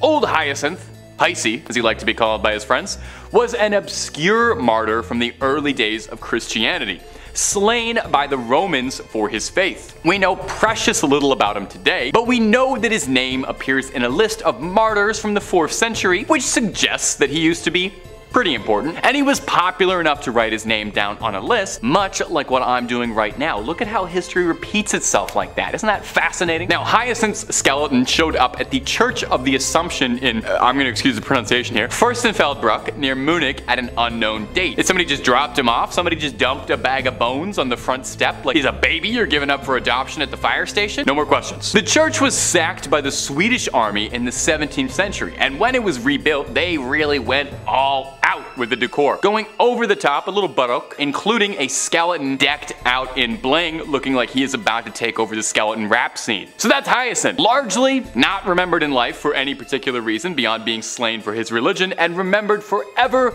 as a ludicrously swagged out skeleton. We can all only hope for similar legacies as dear sweet Hyacinth. Number two, the tongue of Saint Padilla. Did you know your tongue is made up of eight muscles? Maybe you didn't. Did you know that one of the most important relics to the Catholic Church is a dried up 8,000 year old tongue that looks like beef jerky kept inside a golden helmet that looks like something out of a dark fantasy 80s movie? Well, now you do. And have you enjoyed how much of this list is mummified bodies in gold? Because I have. St. Anthony was said to be a jewel case of the Bible, making a name for himself with with his apparently extremely inspirational sermons that won the Catholic Church many new members. People would flock in just to hear what St. Anthony was talking about. Apparently apparently he even got a bunch of ex-Christians to reform and rejoin the faith. He was apparently an incredibly accomplished public speaker, and I would say that he had a silver tongue, but we actually have proof of what color his tongue was because it's kept in a little glass jar. St. Anthony would pass away in 1231 from edema, a horrible disease that causes a buildup and blockage of fluid in the body's tissues. Now, some 30 years later, in 1263, he was exhumed and shocking the gravediggers who were doing it, while his body had rotted and decomposed, his legendary tongue was still intact, as incorruptible as it had been in life, allegedly still wet with saliva. I wonder if he could still taste. Seeing it was a miracle, the gravediggers took his tongue alongside the bottom half of his jaw, and they are both displayed in the Basilica of St. Anthony of Padua in elaborate gold reliquaries. But honestly, it looks like something straight out of Warhammer 40k. Does no one think this is as odd as I do? Maybe I'm an outsider, I didn't grow up terribly Catholic, so I don't really know these imagery. I know the story behind it isn't terribly scary, but the image of this tongue and jaw inside a little glass helmet wrapped in gold looks like something I would ask an AI to make if I typed in nightmare. A tongue shouldn't look like that. and I feel like a jaw shouldn't look like that either. Am I alone in this? Am I weird for thinking this is weird? You let me know down below in the comments if maybe I just lack context on all of this. And number one, Camillus de Lellis' heart. Camillus de Lellis was a man with a big heart full of love never ending in generosity. We know just how big his heart is because it is kept in a glass jar and it is salted to preserve its legacy. Camillus started out pretty humble, born in 16th century Naples. He would later become a soldier until a brutal gambling problem would end up overtaking his life, leaving him in rags driving a donkey cart, but he knew that a far better life was out there. Eventually, he was urged by a friar to explore the lighter side of his soul, and eventually someone was able to pierce his heart both figuratively and later literally, and persuaded him into seeking divine retribution. Camillus would devote his life to providing for the ailing. But tragically, and perhaps unsurprisingly if you spent all your time around sick people before modern medicine, a lifetime of caring for the sick led to him also becoming gravely ill, soaking up a litany of ailments, including a sore in his leg for 46 years, a rupture for 38 years, two callous sores in the sole of a foot, violent nephritic colics, intense kidney pain, and for a long time a loss of appetite. Now all of these things, working in tandem, would eventually claim Camillus, a man who gave his life to healing the sick. So post-mortem, he was canonized and thought of as the patron saint of the sick. And what better way, I ask, to venerate a man famous for his ever-giving heart than to cut his heart out like he was in the Temple of Doom and start salting his heart like it was beef jerky. You can go to St. Mary Magdalene's church in Rome to go see if his heart, you know, put a stethoscope up to it, check if it's still beating, but it's pretty dried up and tucked away behind glass where you can go and pay your respects and see if it has any life left to bestow and maybe if it'll help you out with an illness at all. In fifth, we have the Most Holy Trinity Church in New York. Built sometime between 1882 and 1885 on land that previously served as a graveyard until 1853. According to local rumors, not all of the bodies residing there were exhumed from the graveyard, and the spirits of those left behind still inhabit the grounds to this day. The church property covers an entire city block, and it is said that there are false closets leading to bricked up doorways, tunnels, and random sub basements throughout the church and convent. There are also mysterious passageways on the upper levels of the church, where legend says only priests are able to enter. The church's rectory was built in 1872 by its second pastor, Monsignor Michael May, who later passed in his room on the second floor. Priests who live in the rectory have used that space for mainly a guest room ever since, as no one has ever been willing to live in it on an ongoing basis. Guests have experienced lights being switched off and on, hearing strange noises, and the sound of a person walking back and forth while trying to sleep. Phantom footsteps have also been heard on the staircases in the building, and dogs who were once kept as pets in the rectory would stare in a trance-like state down the basement stairs, as well as into the dining room when the building got cold. In 1897, a parish bell ringer named George Stell's life was taken in the vestibule of the church. Though there was a suspect in the case, a former parishioner who would later be executed for an unrelated ending of life, no one was ever convicted of the crime. The red fluids of Mr. Stell's, as well as the red handprint of the killer, is believed to still be on the wall in a stairway leading to the bell tower. George's ghost still roams the church and is believed to be the reason why the bells will ring suddenly, vowing not to leave until his death has been solved. Moving on to our fourth place position, we have the Aquia Church of Stafford, Virginia. While the congregation was established in 1711, the physical parish wasn't built until 1751. It was a gorgeous brick building built on a peaceful hilltop with a two-story crucifix floor plan, which otherwise known as a cruciform, which was considered a rather unusual style for colonial churches. Aquia was built to replace two earlier sites of the Overwharton parish, which were constructed around 1680. The inside of the church burned down in 1754 and was not rebuilt until 1757. It was then shut down from the Revolutionary War until the Civil War due to lack of funding, before reopening as a stable, campsite, and hospital for Union forces. It was during this closure that a young blonde woman was traveling the dark country roads, rural Stafford County, when a group of highwaymen accosted her. This time period was full of exasperated uncertainty from the war, and with it a severe lack of resources, food, and money. Men would wait hidden on the side of roads to steal the valuables from people walking or riding by their hiding spots.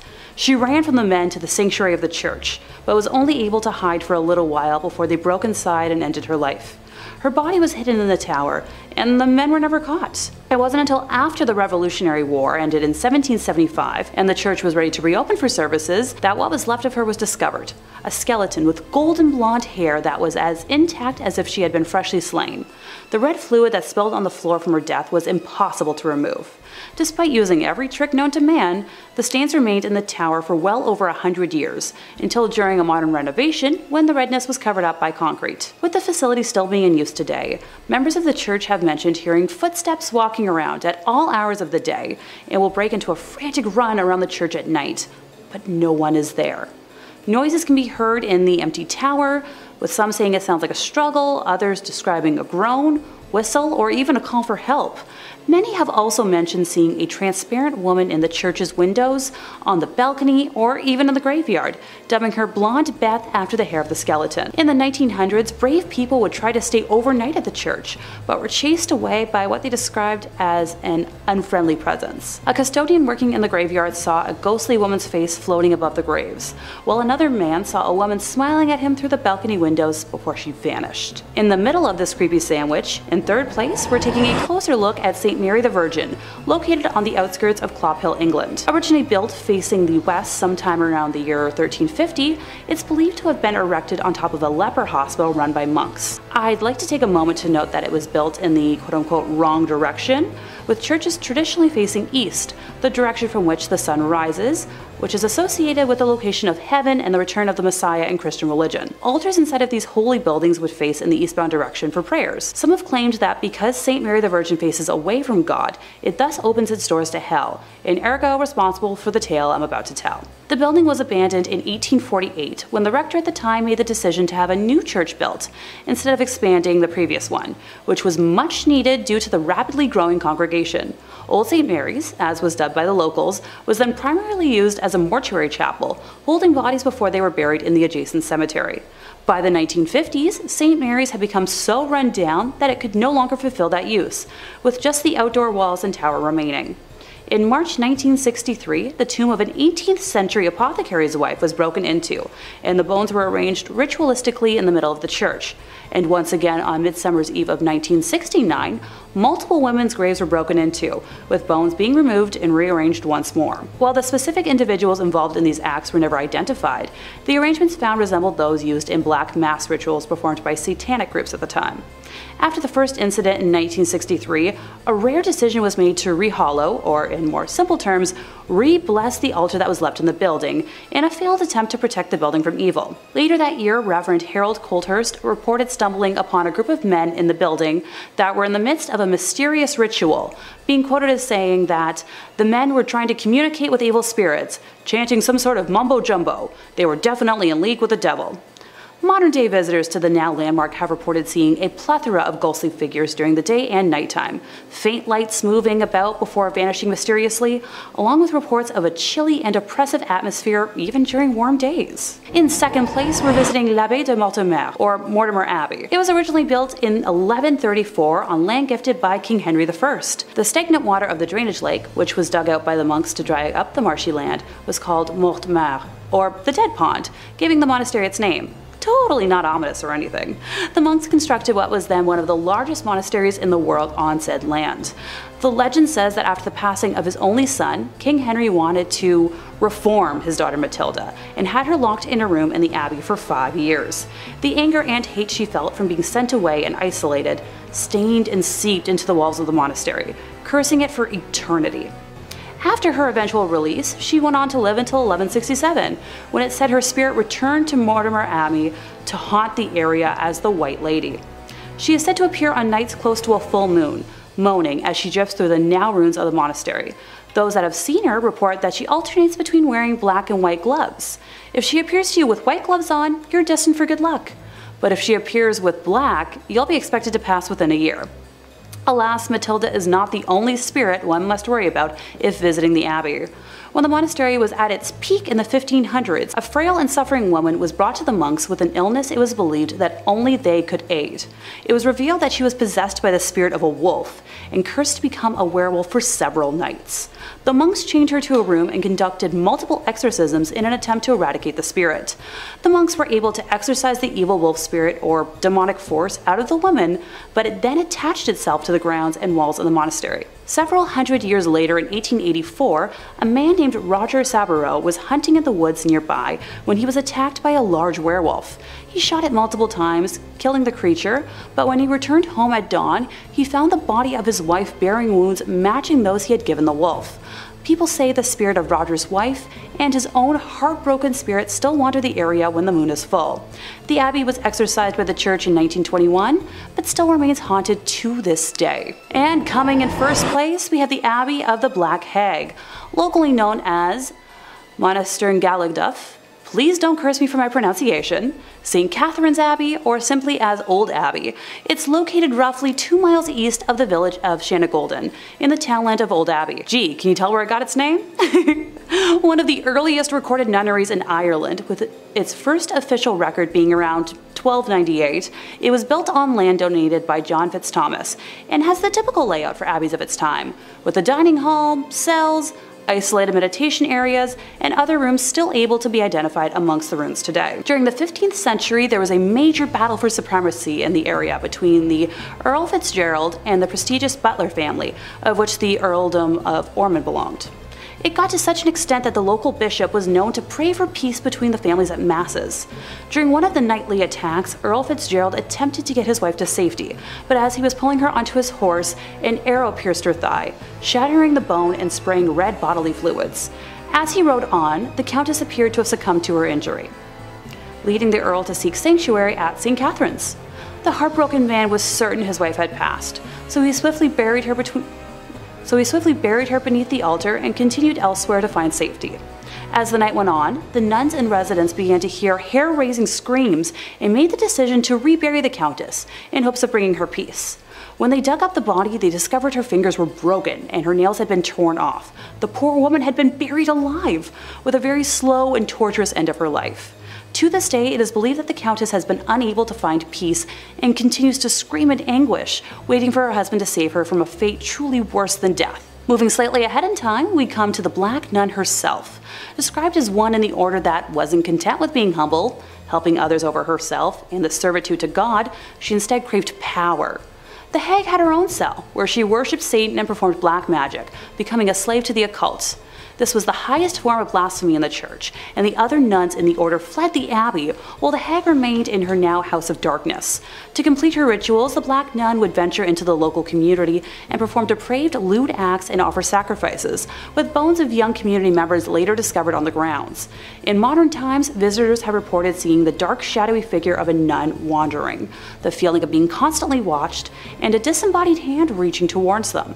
It has been reported that flashlights cannot function in the nun's cell and modern batteries drain too quickly to have any sort of rational explanation. Number 5. St. Clare's fingernails and her hair. Now some people say that fingernails and hair continue to grow after the body passes away. This is commonly repeated but actually not true because rather it's the skin around the fingernails retracting that gives the illusion that the fingernails are still growing. I thought I would just toss in a totally unrelated fun fact you can use at a party. These fingernails aren't growing at all because they're not attached to anybody and they're kept in a glass box alongside some of St. Clare's wonderful curls like the world's worst and possibly stinkiest time capsule. Now St. Clare was often overshadowed by her more famous mentor, Francis of Assisi, but St. Clare was her own woman, accomplished in her own right. She founded her own order of nuns, the Poor Clares. Inspired by Francis's teachings when she was a teenager, she renounced the world and founded an order based on the ideals of extreme poverty and contemplation. I should probably look into this order because being extremely broke and contemplating being extremely broke is about 99% of what I do. The order spread popularity and houses of Poor Clares were established far away from her home convent in Assisi. Now it's said that part of what made St. Clare's decision to give up the worldly life so inspiring was that not only was she blessed to be born into a family of great wealth, but oh, va va voom, St. Clare was a real stunner. Now, you know, the depictions we have to work with may not look like much, but they called her the first Jenner for her luscious lips and flowing locks. As proof of her devotion, Francis trimmed her beautiful extravagant hair as a physical manifestation of rejecting her former vain existence. As you can see, I'm not quite there yet. I'm still quite happy with my vain, disgusting hair. Now, someone down the line managed to get a hold of St. Clare's hair and fingernails. Maybe they were just sweeping the barber room floor. These, uh, treasures, for lack of a better word, were kept and encased in a reliquary at the basilica named in her honor. This also contains a rock crystal flask with her fingernails.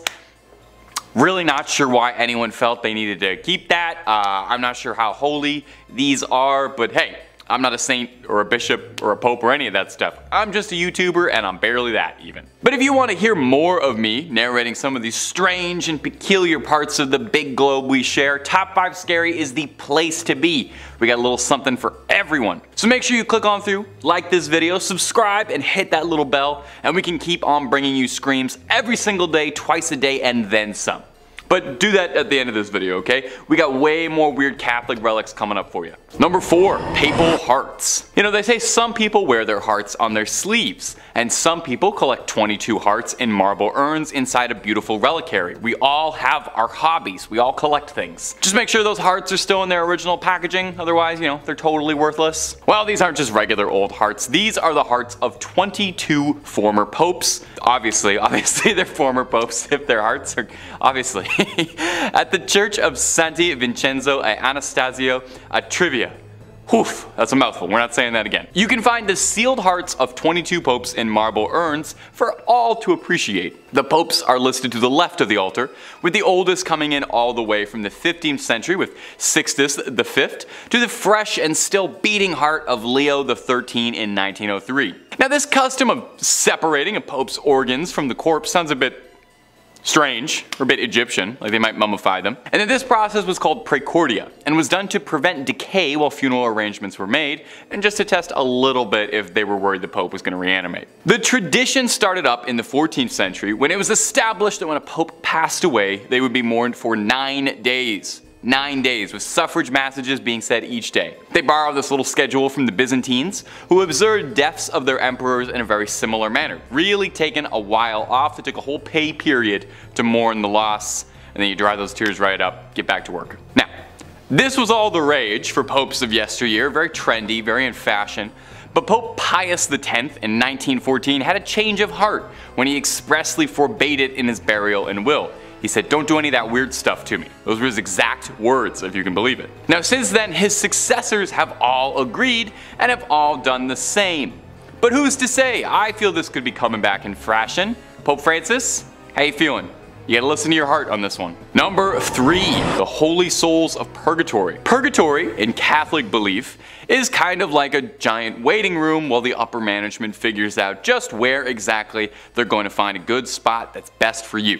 Well, that's simplifying it a bit, obviously. The soul is thought to be stranded in purgatory until it atones for its earthly sins, but you can hurry the process up just a little bit if your loved ones back on earth are praying for you. In the back of the Chiesa del Sacro Cuore del Suffragio del Piccolo Museo del Purgatorio, or Museum of the Holy Souls in Purgatory, holds a collection of relics that have been singed by the hands of the souls of those trapped in purgatory. These burned handprints are believed to be the souls trying to communicate that their loved ones need to pray harder. I don't know about you, but I would definitely start praying real hard if burned handprints started showing up in my books, but I would be praying for an exorcist, more likely. Now, this is kind of interesting, and I didn't even know this. Purgatory isn't even mentioned directly in the Bible, but the concept of purgatory dates back to the 11th century. This notion that trapped souls needed to be freed came from a story told to the Abbot Odilo of Cluny by a monk returning from the Holy Land.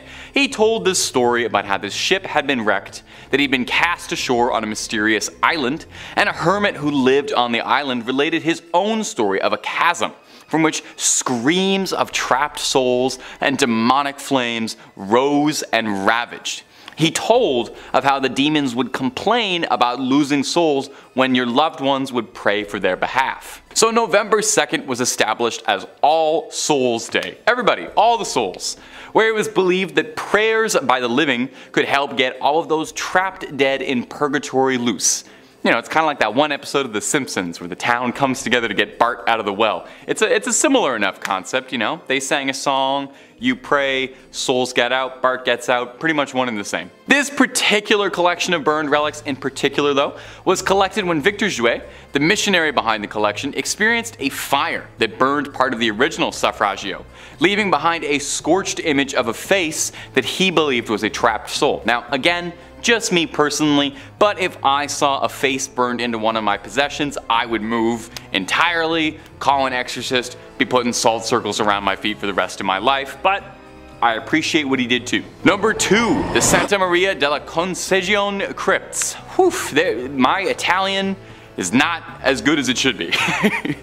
Inside the Santa Maria della Concezione crypts, as many as 4,000 friars lie here. Well, lie is probably the wrong word, as they hang here is probably a more accurate description, as these 4,000 bodies are hanging from the rafters, decorating the space of every inch of the church. Now it might seem a bit grim, or beautiful, depending on your twisted point of view. We're a scary channel, I ain't gonna judge you. There's a certain chic to it.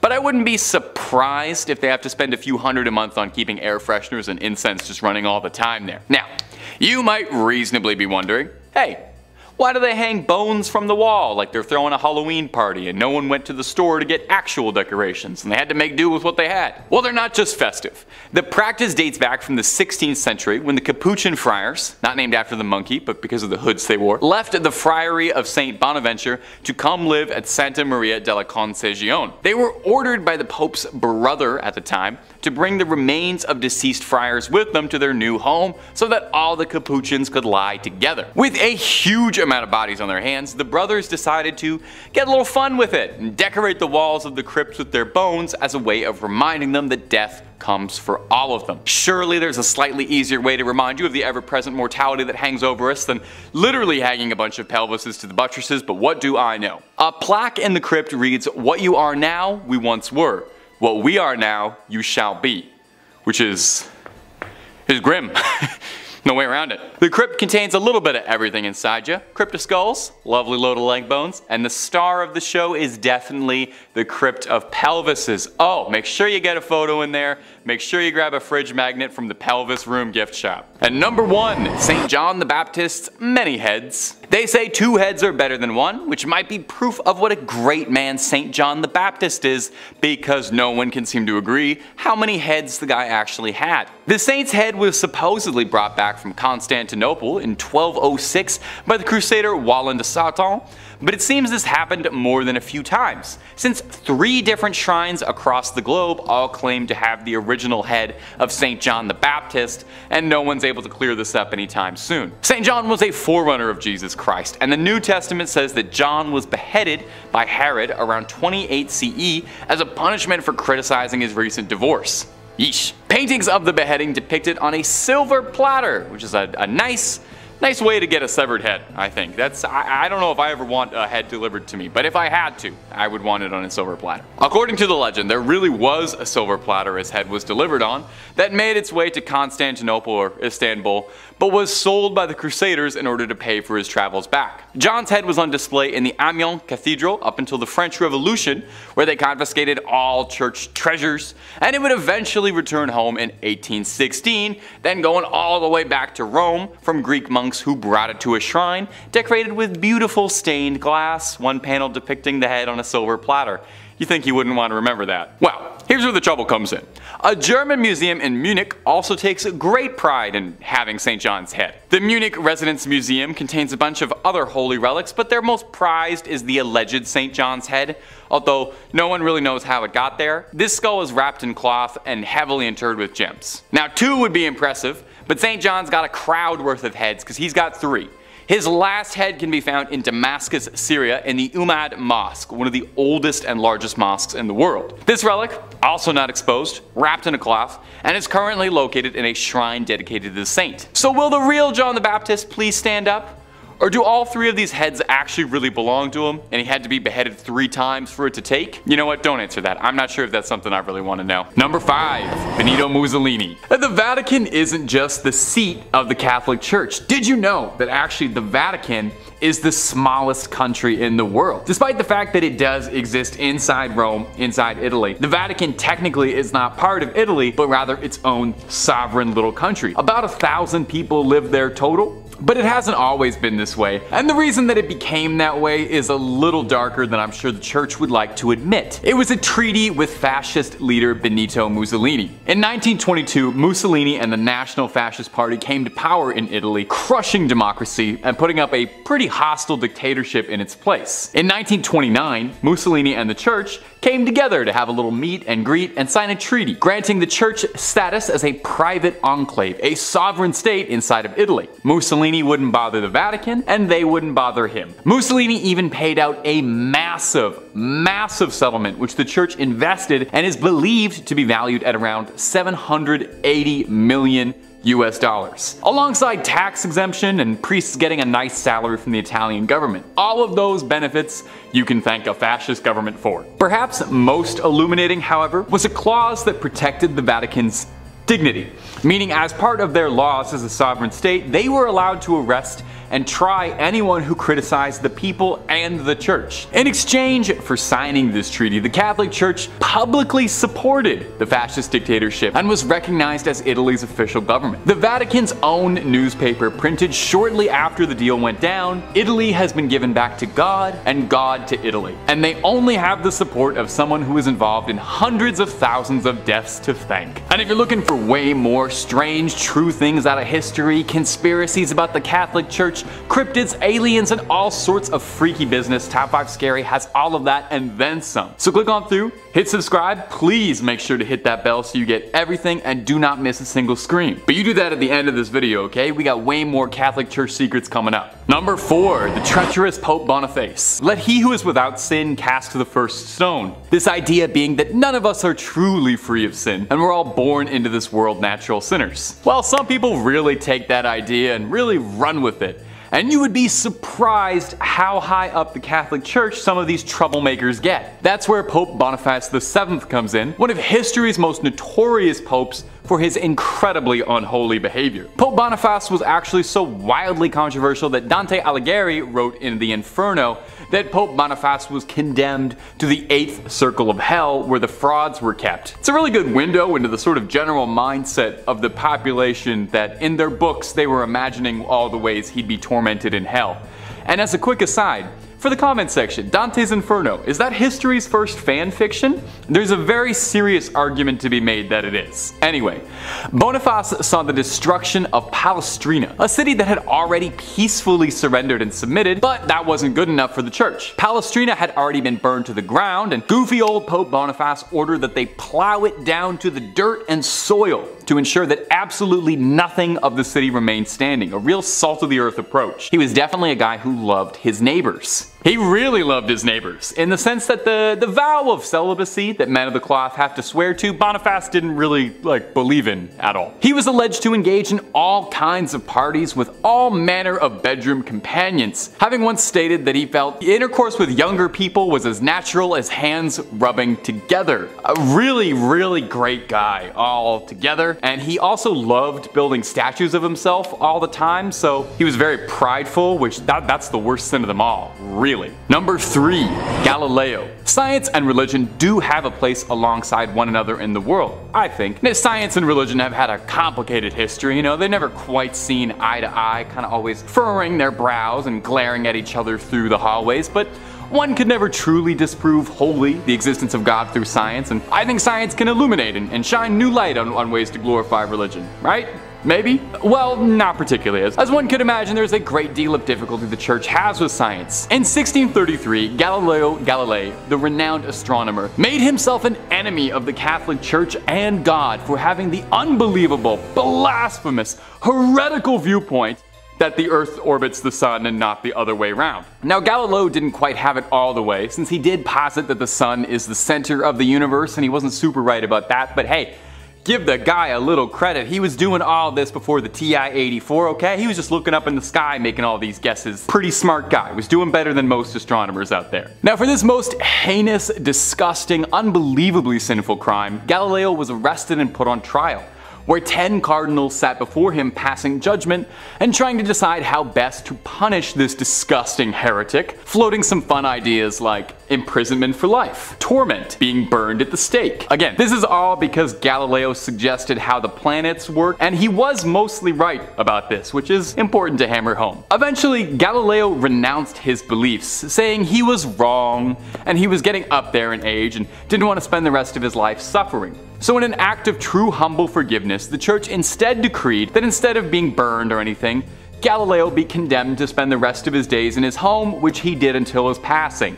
That'll teach him. Now eventually, obviously, the church kind of had to walk back some of that treatment of Galileo. In 1992, they spoke out saying that maybe he was kind of technically right about like a few things here and there and mumbled out an apology like a schoolyard bully being forced to say sorry by the teachers. Sure, it was about 350 years too late, but I bet Galileo probably really appreciated it and would have loved to have known how vindicated by history he would have been. Number 2. The wild and wacky life of Pope Benedict IX. Over the years, there have been many, many controversial popes. I mean, there's a bunch on this list already. In fact, you'd probably find more popes are wrapped in controversy than you might imagine. Now, it's pointless to compare sins on any sort of moral scale as to who's the most evil or, or, the worst pope, but it's hard to argue that few of them got up to as much chaos and trouble as Pope Benedict IX, who was one of the wackiest, most notorious popes out there. He once sold the position because he got bored of it. It's said he began his pontification when he was a young, young man because his wealthy family just wanted it. And that was like a thing you could do back then. If you had enough money, you could just bribe the church and ask that your son become pope. Benedict loved the lifestyle and behaved the way Joffrey Baratheon would, You know, kind of really letting the power get to his head almost immediately. He would spend his money on women of the night, hosting lecherous, wild, erotic parties, which allegedly would have all manner of man, woman, and if the stories are to be believed, animals as well. It was not long before there were conspiracies being drawn up to assassinate the Pope, if you can believe that. Even just saying that feels weird, but they wanted to assassinate the Pope. Probably in a case of divine intervention or, or, fate, on a feast day, his enemies snuck into St. Peter's Basilica carrying rope, ready to tangle up the Pope. But a solar eclipse scared the assassins so badly they called the whole thing off, and to be honest, I totally get it. If I was planning on disposing the Pope and the sun got blocked out, I'd assume God was furious at me. Failed coups notwithstanding, Pope Benedict's reputation did not improve much. He was attacked by an angry mob in 1045 and he was forced to flee and would be replaced by another pope, one Sylvester III. Two months later, however, Benedict would return to take the title back. But two months later, he decided that he didn't really enjoy being pope anymore. It wasn't as fun, what with all the constant bombardment of hate and failed attempts on his life. So he sold it to his godfather for what amounted to nearly $30 million. Imagine buying the Pope. Imagine buying being the voice of God. Anyway, if you can believe it, like Emperor Palpatine, somehow Pope Benedict returned a third time. King Henry III of Germany had arrested Pope Sylvester III for being a false pope, and the godfather that he had sold the throne to had given up the papacy, admitting that it was shameful and heretical for him to have ever done so in the first place. So Henry appointed a new German pope while Benedict was in hiding, and that pope mysteriously passed away eight months later from a poisoning which many historians suspect Benedict had his little fingers in. So Benedict came back for a third time to be the Pope, only this time no one was putting up with him. They'd been through this two more times, they weren't doing it again. Henry III sent troops to drag him out of the basilica. He spent his dying years in a monastery and is now remembered in history as one of the worst popes ever. And number one, the Pazzi conspiracy. If you've garnered anything from this video that I've been telling you, I sincerely hope it's that the Pope doesn't always follow the rules. Sure, the guy interprets the will of God, you know, he's got a direct line to talking to him, but that doesn't mean he follows every single one of his rules. Now we've already discussed some of the wildest sins that popes have been caught up in, but let's top it all off with a full-blown assassination conspiracy revolving around the Pope ordering a hitman. No, really. In the 1470s, Pope Sixtus IV hatched a scheme to rid Florence of the Medicis, the most influential family in the country at the time, rivaling the church. The Medicis had served as the bankers for the papacy for generations and as such were loaded. Pope Sixtus kickstarted this conflict when he changed the Medicis over as the bankers to the Pazzi family who were more loyal to him. The Medicis didn't want to pay to help the Pope claim the town of Imola, which the Medicis themselves wanted to lord over. So with these in the way, the Pope thought that something had to be done about these meddling Medicis. So Sixtus contracted two assassins to carry out the plot against Lorenzo and Giuliano de' Medici during Easter Mass on Sunday which just feels unbelievably disrespectful if you're the Pope, you know? You can't talk in church, but you can orchestrate a political assassination. That's fine to do on Sunday, on Easter Sunday. Now, if you're sitting here listening to this and you're kind of scratching your head because you feel like all of this sounds a bit familiar, imagine you have a white hood on and you're jumping into a bale of hay because this was a driving plotline in Assassin's Creed 2 where protagonist Ezio ends up helping out Lorenzo Medici a great deal. Yeah, no, the games were really inspired by true history you know, save for a few extendo blades and boss fights against the Pope, but a lot of that stuff really did happen. History is just as weird as the video games make it out to be. Now if you remember from Assassin's Creed 2, Giuliano was fatally slain, but Lorenzo survived and rallied support of Florence in a war against the church. Lorenzo picked off conspirators and then sailed to Naples to meet King Ferdinand to discuss a peaceful solution to the bubbling war. There's a reason they called him Il Magnifico, this guy was great at strategy. In the end, the plot failed drastically because all it really did was cement people's support to Lorenzo Medici. People loved the fact that he survived an assassination. They made a medal commemorating this for him, and it brought shame to Pope Sixtus, and it inspired one of the best games Ubisoft ever put out. Number 5. Time Machine. Among the many conspiracies about what goods are hidden inside the Vatican's secret archives, one of the more popular and reoccurring ones is that the Vatican has access to wondrous technology hidden away from the rest of the world, from ancient civilizations, stuff like that. One leading theory is that among these devices is something called the chronovisor, an alleged time machine of sorts that allows the user to peer inside and see whatever time period in history or forwards they desire, like a little time camera.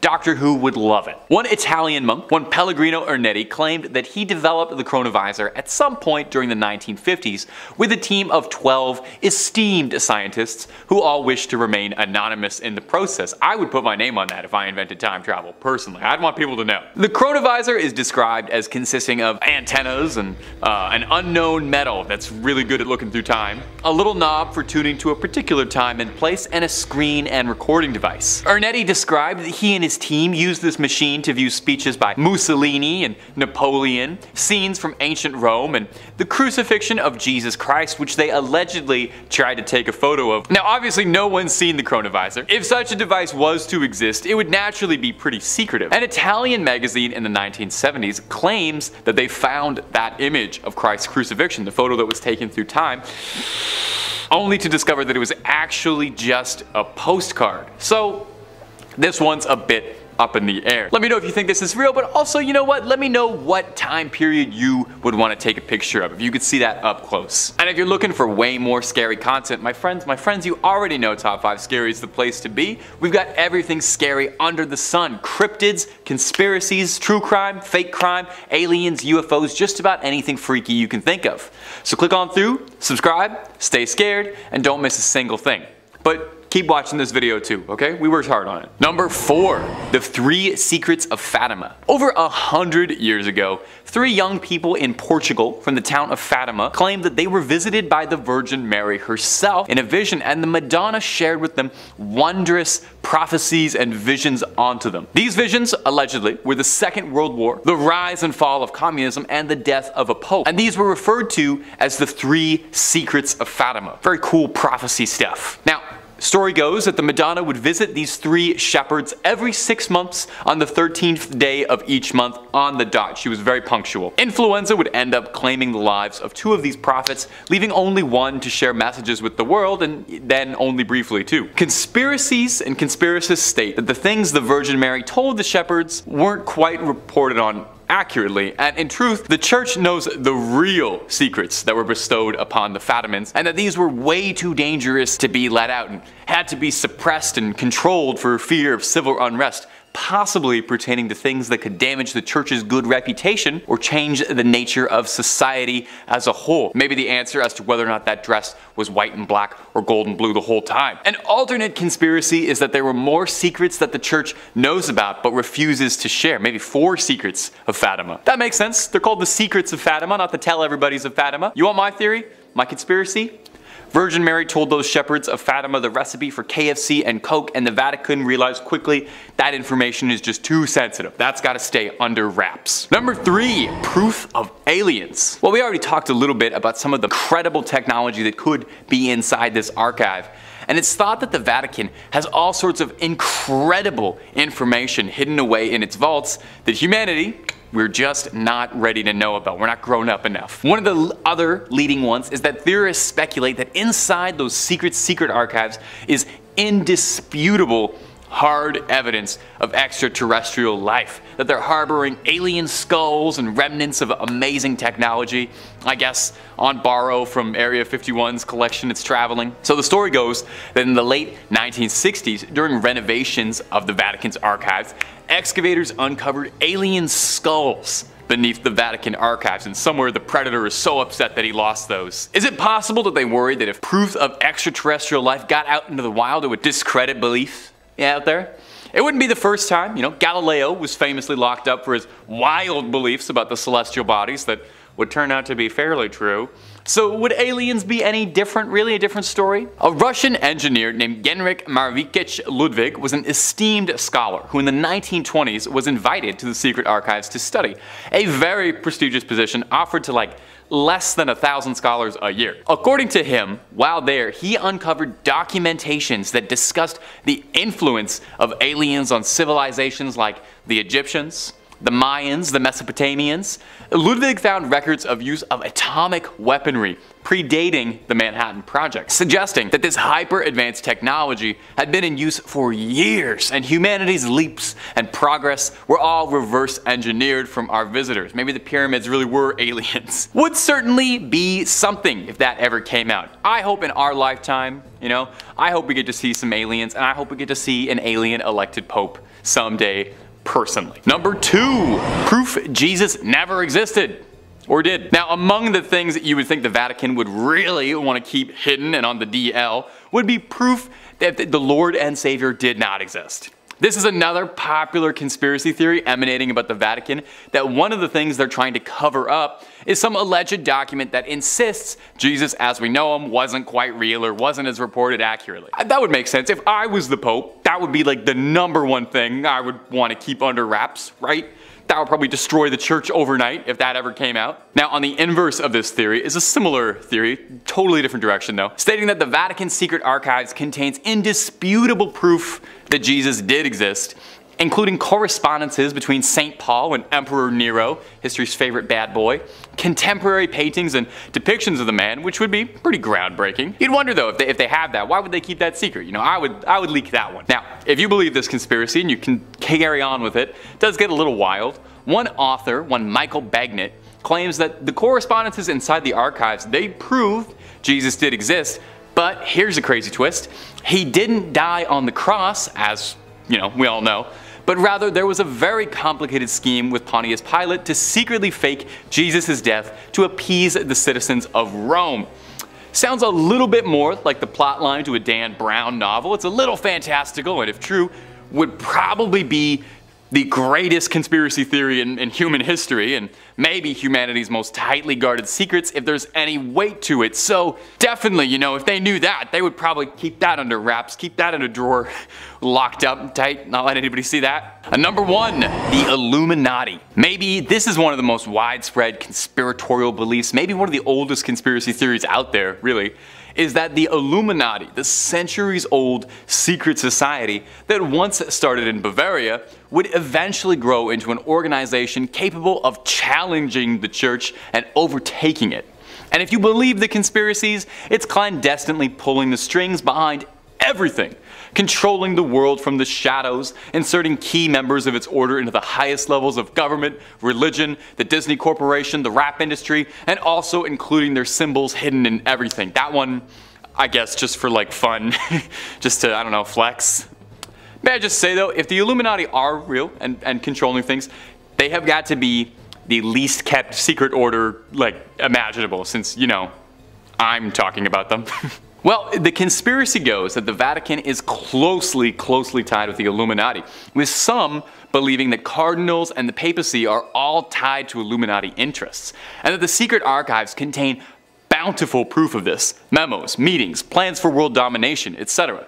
The Vatican's archives date back centuries, nearly a thousand years worth of old papers, with some documents containing secrets of the Knights Templar, who are thought to be the originators of Freemasonry, the group that would become tied with the Illuminati, that's who the Illuminati was based on. Surely some of those Knight Templar meeting minutes would be particularly illuminating, if you'll pardon that absolutely horrible pun. Of all the ones on this list, I think this one is the most outright likely, since we know the Illuminati did stem from the Freemasons, and we know that there was a real Illuminati. That's an indisputable fact.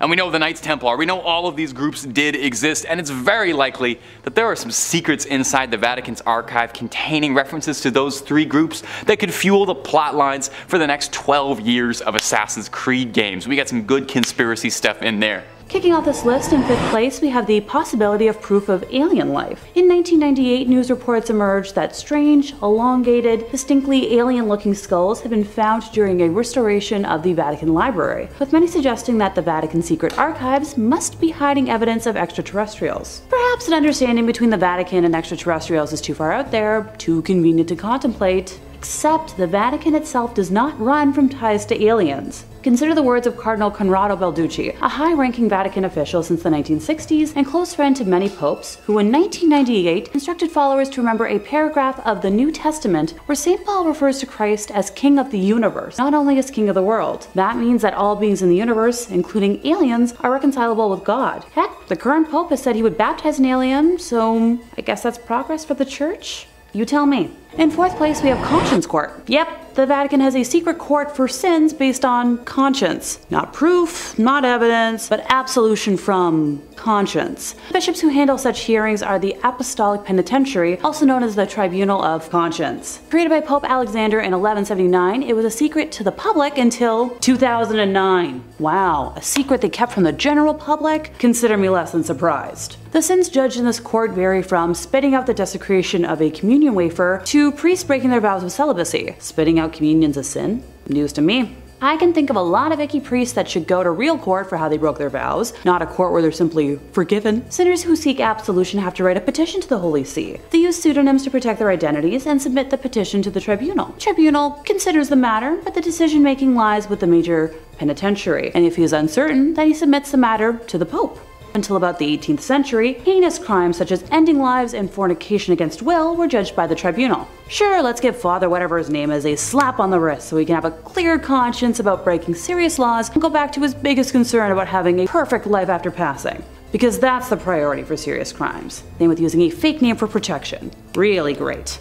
In third place, time to talk about exorcisms. While I'm sure someone out there is chuckling, exorcisms are nothing to be taken lightly. They're a religious or a spiritual practice of evicting demons, jinns, or other malevolent spiritual entities from a person or an area that is believed to be possessed. It varies a bit from religion to religion, so bear with me while I specify how it works in the Catholic Church. In Catholicism, exorcisms are performed in the name of Jesus Christ. There's a distinction between major exorcisms and minor exorcisms. Minor exorcisms are included in some blessings in which priests create sacramentals such as blessed salt. A related practice is deliverance ministry. Now, the distinction between deliverance ministry and exorcism is that exorcism is conducted by priests who are given special permission from the Catholic Church, while deliverance ministry is prayer for people people who are distressed and wish to heal emotional wounds, including those purposely caused by evil spirits. The Catholic rite for a formal exorcism, called a major exorcism, is given in section 11 of Ritual Romanum. The ritual lists guidelines for conducting an exorcism and for determining when a formal exorcism is required. Priests are instructed to carefully determine that the nature of the condition is not actually a psychological or physical illness before proceeding. Sure, I'd love to see their criteria. In Catholic practice, the person performing the exorcism, known as an exorcist, must be an ordained priest. The exorcist recites prayers according to the rubrics of the rite and makes use of religious materials such as icons, sacramentals, and holy relics. The exorcist revokes God, specifically the name of Jesus Christ, as well as saints of the Church Triumphant and the Archangel Michael to intervene with the exorcism. According to Catholic understanding, several weekly exorcisms over many years are sometimes required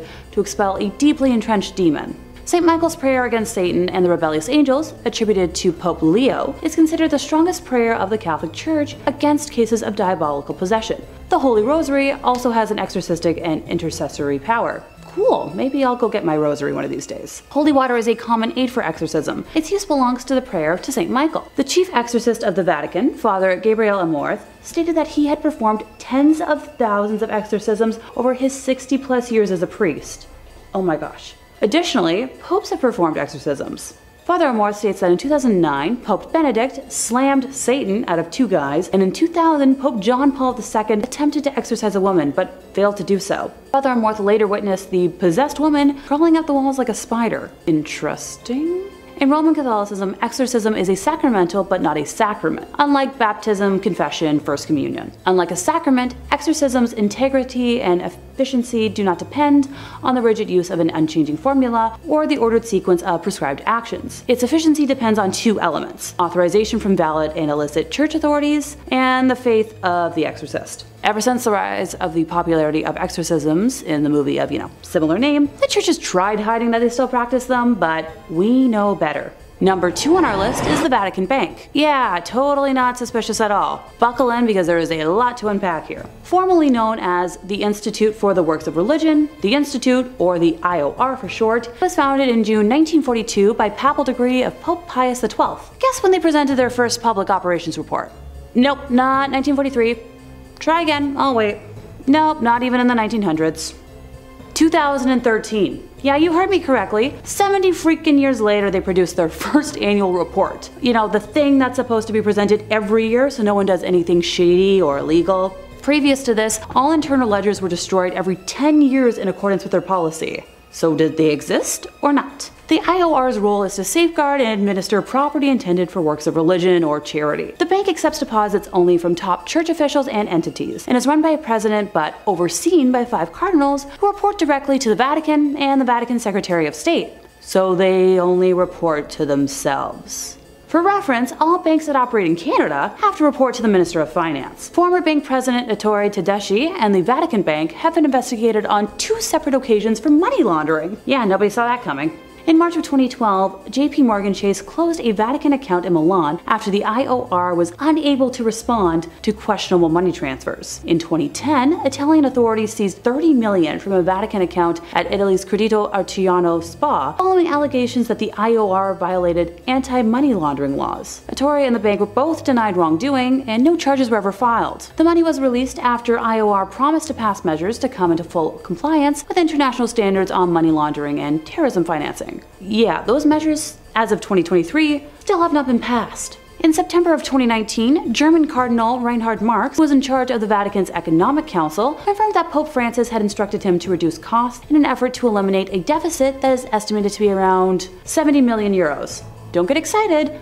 that's not a concrete number from them, because that would be, you know, too transparent. The exact amount is up for debate because the Vatican has not published a budget since 2015 and has been without an in house auditor for two years. Pardon me while I uh, slowly blink here. The Vatican enjoys a property tax break for all non commercial properties containing a chapel. So, using this loophole between the years 2006 and 2011, the Vatican evaded taxes that amounted to about 4 billion euros. The European Court of Justice ruled this illegal, and the Vatican had to cough up 4 billion euros as post dated tax. Sure, because every normal organization has that kind of money just lying around. The Vatican did not entirely pay for evading taxes, and it's argued that if you take into account the taxes they evaded dating back to 1992, the total amount's going to be over 13 billion euros. That's right, billion. On the 28th of June in 2013, three people were arrested by the Italian police on suspicion of corruption and fraud, having planned to smuggle 20 million in cash from Switzerland into Italy. One of those people arrested was Monsignor Nunzio Scarano, previously senior accountant at APSA, the Vatican's administration of the patrimony of the Apostolic See. Try saying that five times fast. In January of 2014, he was further charged with money laundering through IOR accounts in yet another investigation.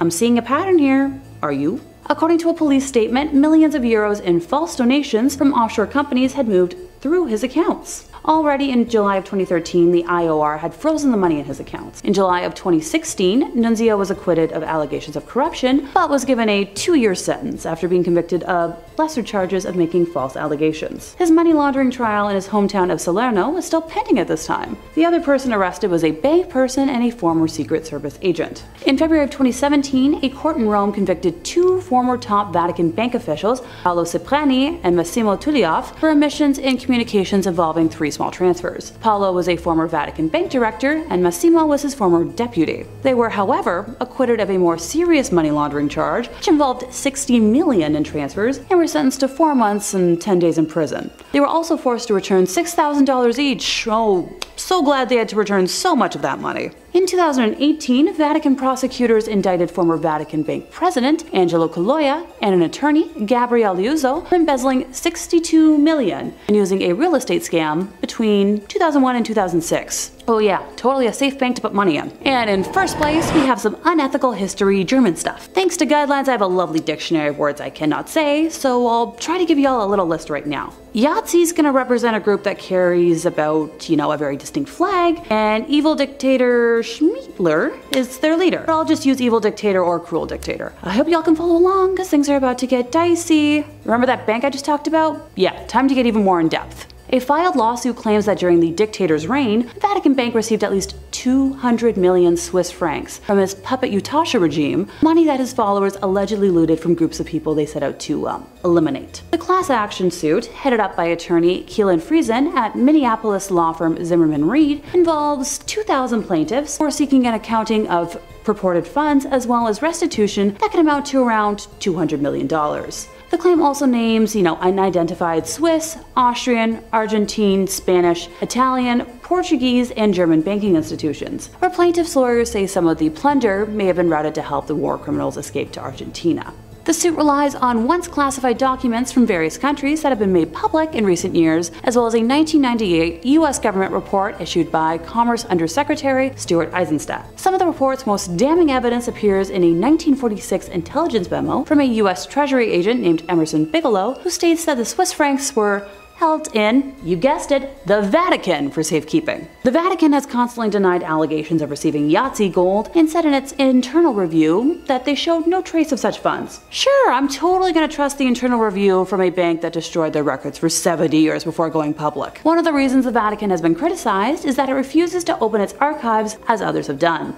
A key figure in helping the Ustashi was Krunoslav Draganovic, a Croatian priest who was head of the College of San Girolamo in Rome. Men from Croatia who wanted to become priests lived at San Girolamo while studying for ordination. After World War II, the college served as a safe house for the Ustashi underground. It is alleged that Draganovic had aided the military and civilian leaders who had been in power in Croatia and committed war crimes. His assistance consisted in obtaining false documents and safe passage out of Italy. People write that there are allegations that he used his Vatican bank connections to launder gold stolen by, you guessed it, and that he was paid for his cooperation. He admitted in a 1945 that he had personally moved 40 kilos of Ustashi gold to Rome, concealed in two packing cases. A request made under the Freedom of Information Act resulted in the 1997 release of Bigelow's report. Criminal conduct described in the report led to the institution of a 1999 lawsuit against the Vatican Bank, criminal conduct described in the report led to the institution of a 1999 lawsuit against the Vatican Bank filed by survivors and descendants. The lawsuit was dismissed in 2009 under terms of the Sovereign Immunities Act. Although the legal case no longer stands, moral questions surrounding the plunder remain.